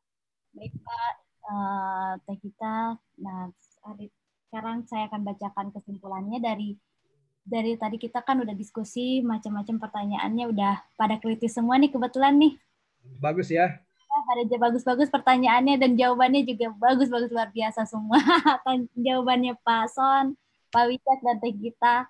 Uh, jadi kesimpulannya kenapa apa kota untuk masa depan itu agar bisa kita, kita untuk kita semua itu jadi kita itu harus benar-benar bisa menggunakan sebaiknya pembangunan kota itu yang hanya tidak terkonsentrasi di Pulau Jawa. Tetapi kita juga harus menyebar merata dari Sabang sampai Merauke sehingga tidak mengancam lahan pertanian yang subur. Jadi jangan sampai alih fungsi lahan ya Pak ya. Alih fungsi lahan yang tadinya dari dari pertanian tahu-tahu dibangun menjadi lahan industri, lahan permukiman atau yang bersifatnya komersil. Itu itu yang satu, yang kedua bonus demografi itu jangan menjadi beban di Indonesia. Tergantung dari kita sendiri. Apakah bonus demografi itu akan dibawa menjadi menjadi masalah untuk Indonesia atau menjadi keuntungan untuk Indonesia. Nah, di tahun 2025 sampai 2035 ini merupakan Indonesia akan menjadi negara maju atau tidak. Nah, sebenarnya yang ketiga, selanjutnya kurangnya edukasi terhadap masyarakat, baik dari pemerintah, dari stakeholder, dan dari dari para para masyarakat juga yang kurangnya mendapatkan edukasi itu sehingga perkotaan itu juga jadi kurang berkembang sebagaimana mestinya. Nah, yang selanjutnya perlu adanya sinkronisasi juga antara rencana yang sudah direncanakan oleh para planner dengan konsistensinya kebijakan perkotaan nasional dalam pembangunan kota. Jadi seperti yang banyak yang udah kita lihat rencana ini itu tapi ternyata kebijakan yang ada malah dilanggar. Banyaknya, contohnya banyaknya bangunan-bangunan yang berdiri pada kawasan lindung, seperti itu contohnya. Dan terakhir, pemerintah harus lebih memperhatikan keamanan dan kenyamanan untuk para disabilitas agar mereka nyaman beraktivitas di perkotaan. Seperti contohnya guiding guiding block yang sudah dipaparkan oleh Tegita tadi, banyak yang kurang diperhatikan. Yang penting kayak seperti hanya jadi hiasan jalan jadinya ya. Uh, dan itu juga malah mereka jadi susah untuk berjalan di perkotaan. Mungkin itu saja kesimpulan untuk siang hari ini di dalam talk show ini. Selanjutnya akan saya kembalikan kepada panitia, kepada Mas Muklis. Nanti. Silakan Mas Muklis. Mungkin bisa kembali ke host aja dulu. Silakan Nadif selaku host. Oh ya,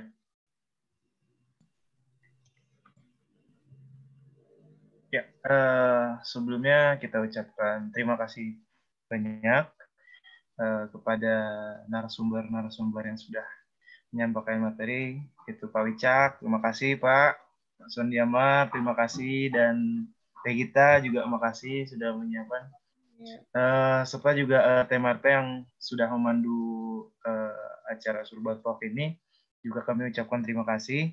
Dan uh, sebelumnya juga saya ingin sampaikan bahwa kami dari Surbani sudah mendapatkan nama pemenang door prize buku uh, dari Pak Wicak.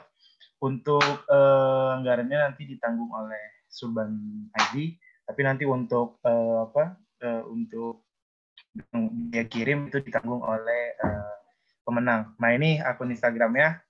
Jadi selamat kepada akun Instagram Wisda Bintari ini salah satu mahasiswa Unisula Semarang. Mungkin uh, saya juga memohon kepada Pak Wicak bila berkenan untuk uh, simbolis saja Pak uh, menyampaikan buku ini uh, secara simbolis kepada pemenang. Baik, uh, saya kira uh, moga-moga bacaan ini, buku ini, Kota untuk Semua bisa bermanfaat bagi Wisda Bintari Uh, dan juga teman-teman bisa di-share juga. Uh, jangan difotokopi tapi ya.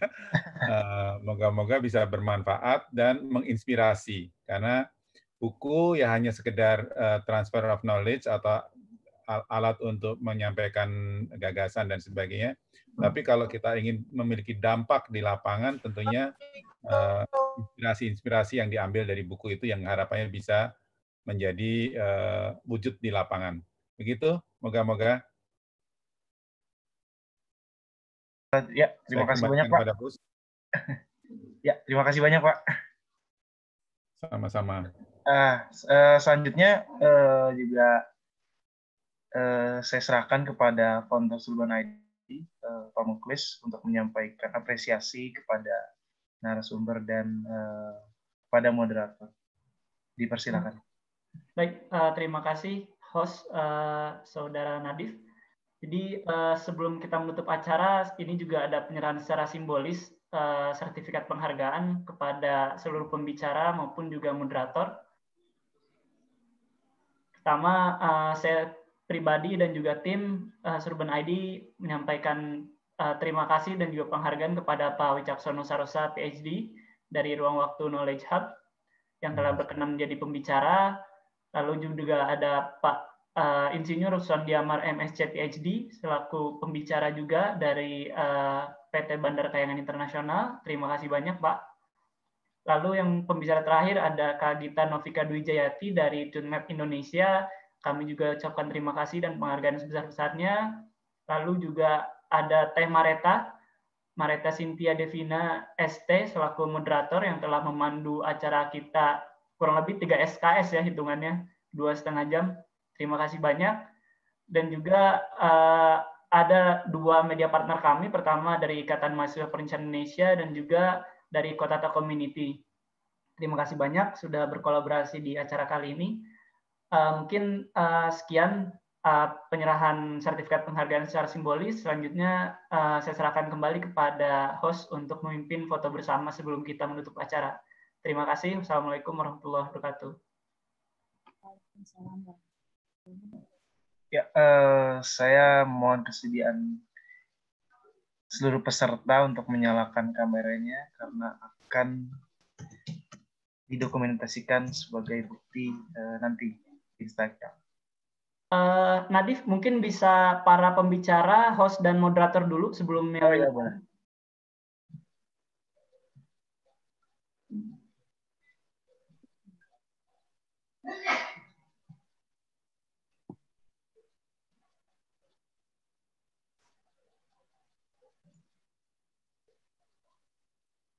Ya, uh, uh, ini untuk para peserta tolong dimatikan dulu terlebih dahulu karena akan difoto untuk uh, narasumber dan moderator terlebih dahulu. Terima kasih.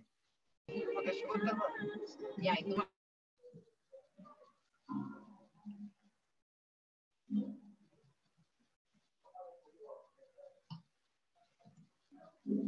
Ya, um, ya, satu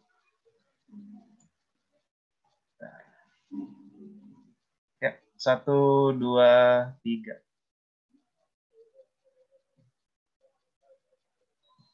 Sip. Ya, uh, selanjutnya untuk para peserta dapat menyalakan kameranya. Uh, Nadif mungkin bisa diganti jadi galeri view, Div. Ya, sudah.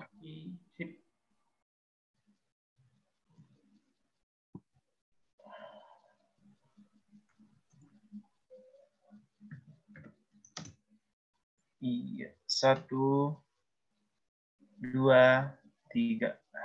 Oke.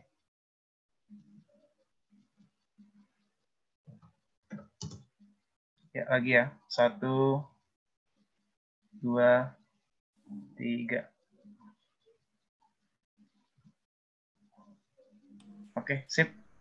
Terima kasih banyak uh, kepada para peserta atas partisipasinya dan mohon maaf apabila ada kekurangan dari kami. Dan semoga ini juga jadi ilmu yang bermanfaat bagi kita semua. Dan tentunya jangan terus lupa ikutin Surban ID mulai dari Instagramnya dan juga mungkin kepada para peserta yang sudah ikut grup WhatsApp. Nantinya kita akan ada informasikan terkait dengan uh, Surban Talk selanjutnya mungkin itu. Sekali lagi saya ucapkan terima kasih kepada para narasumber kemudian kepada uh, moderator dan para peserta serta pada media partner. Terima kasih. Assalamualaikum warahmatullahi wabarakatuh. Waalaikumsalam warahmatullahi wabarakatuh. Waalaikumsalam warahmatullahi wabarakatuh. Terima kasih Pak Wicak. Terima kasih Pak Wicak. Pak Gita Teh Mareta. Luar biasa ini Surban ID sama-sama. Terima kasih Mari kita ikut ini Pak acara ruang waktu yang uh, bareng kemitraan Habitat yang kota Oh gitu. Iya. Semua itu. Iya. Bagus. Ya, terima kasih ya. Iya, Pak. Saya masih mau nyambung ada rapat nih soalnya. Ya, mari Pak. Terima kasih banyak. Mari, ya, mari. Ya, Kak Gita sukses. Ya. Thank you. Ya. Pamit ya. Ya, Teh. Terima kasih banyak, Teh Mereta atas waktunya. Terus terus ya buat surbannya. Amin. Atur nuhun. Terus terus buat Pak Wicak, Pak Son. Amin. Putus koneksi beliau barusan kontak saya. Iya. ya, terima Mari pamit duluan. Assalamualaikum. Waalaikumsalam warahmatullahi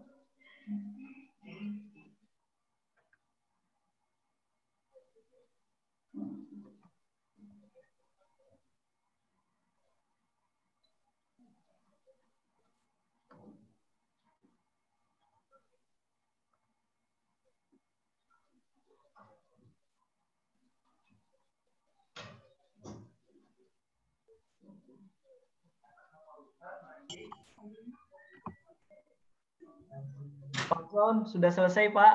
Rupanya putus ini konek apa internet saya uh, putus tadi. Oh iya Pak. Iya Pak.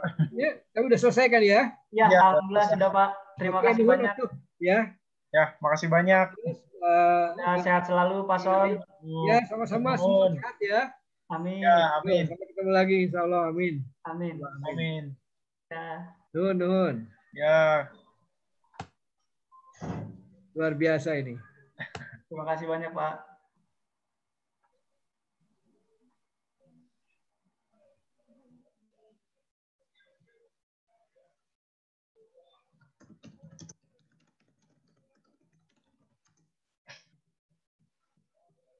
jangan macam-macam ya. Mengerti.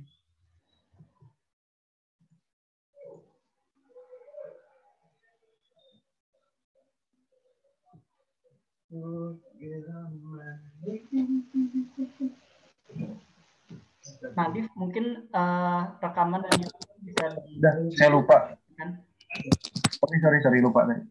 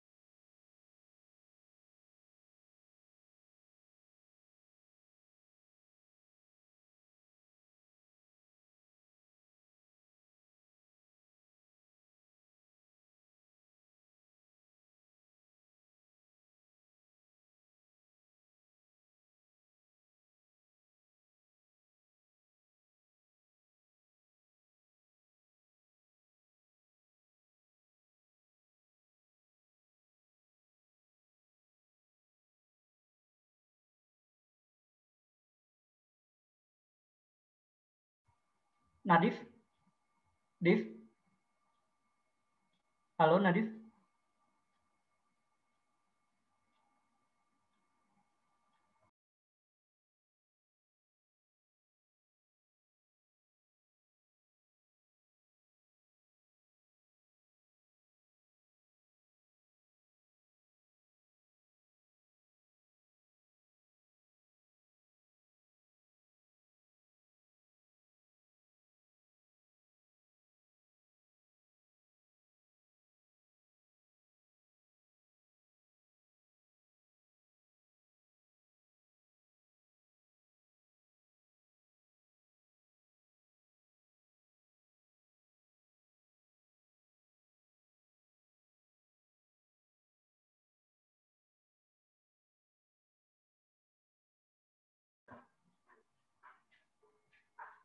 Sebentar ya, ini masih live YouTube-nya, jadi uh, jangan dulu uh, keluar. Sebentar, tunggu dimatiin dulu sama Nadif. Baru kita mulai uh, review. Halo, halo, halo, halo, halo. Halo, sebentar Tuh Mayar, ini masih kerekam di YouTube, jadi belum bisa mulai. yeah, yeah, yeah. Sebentar, Nadifnya lagi belum connect nih.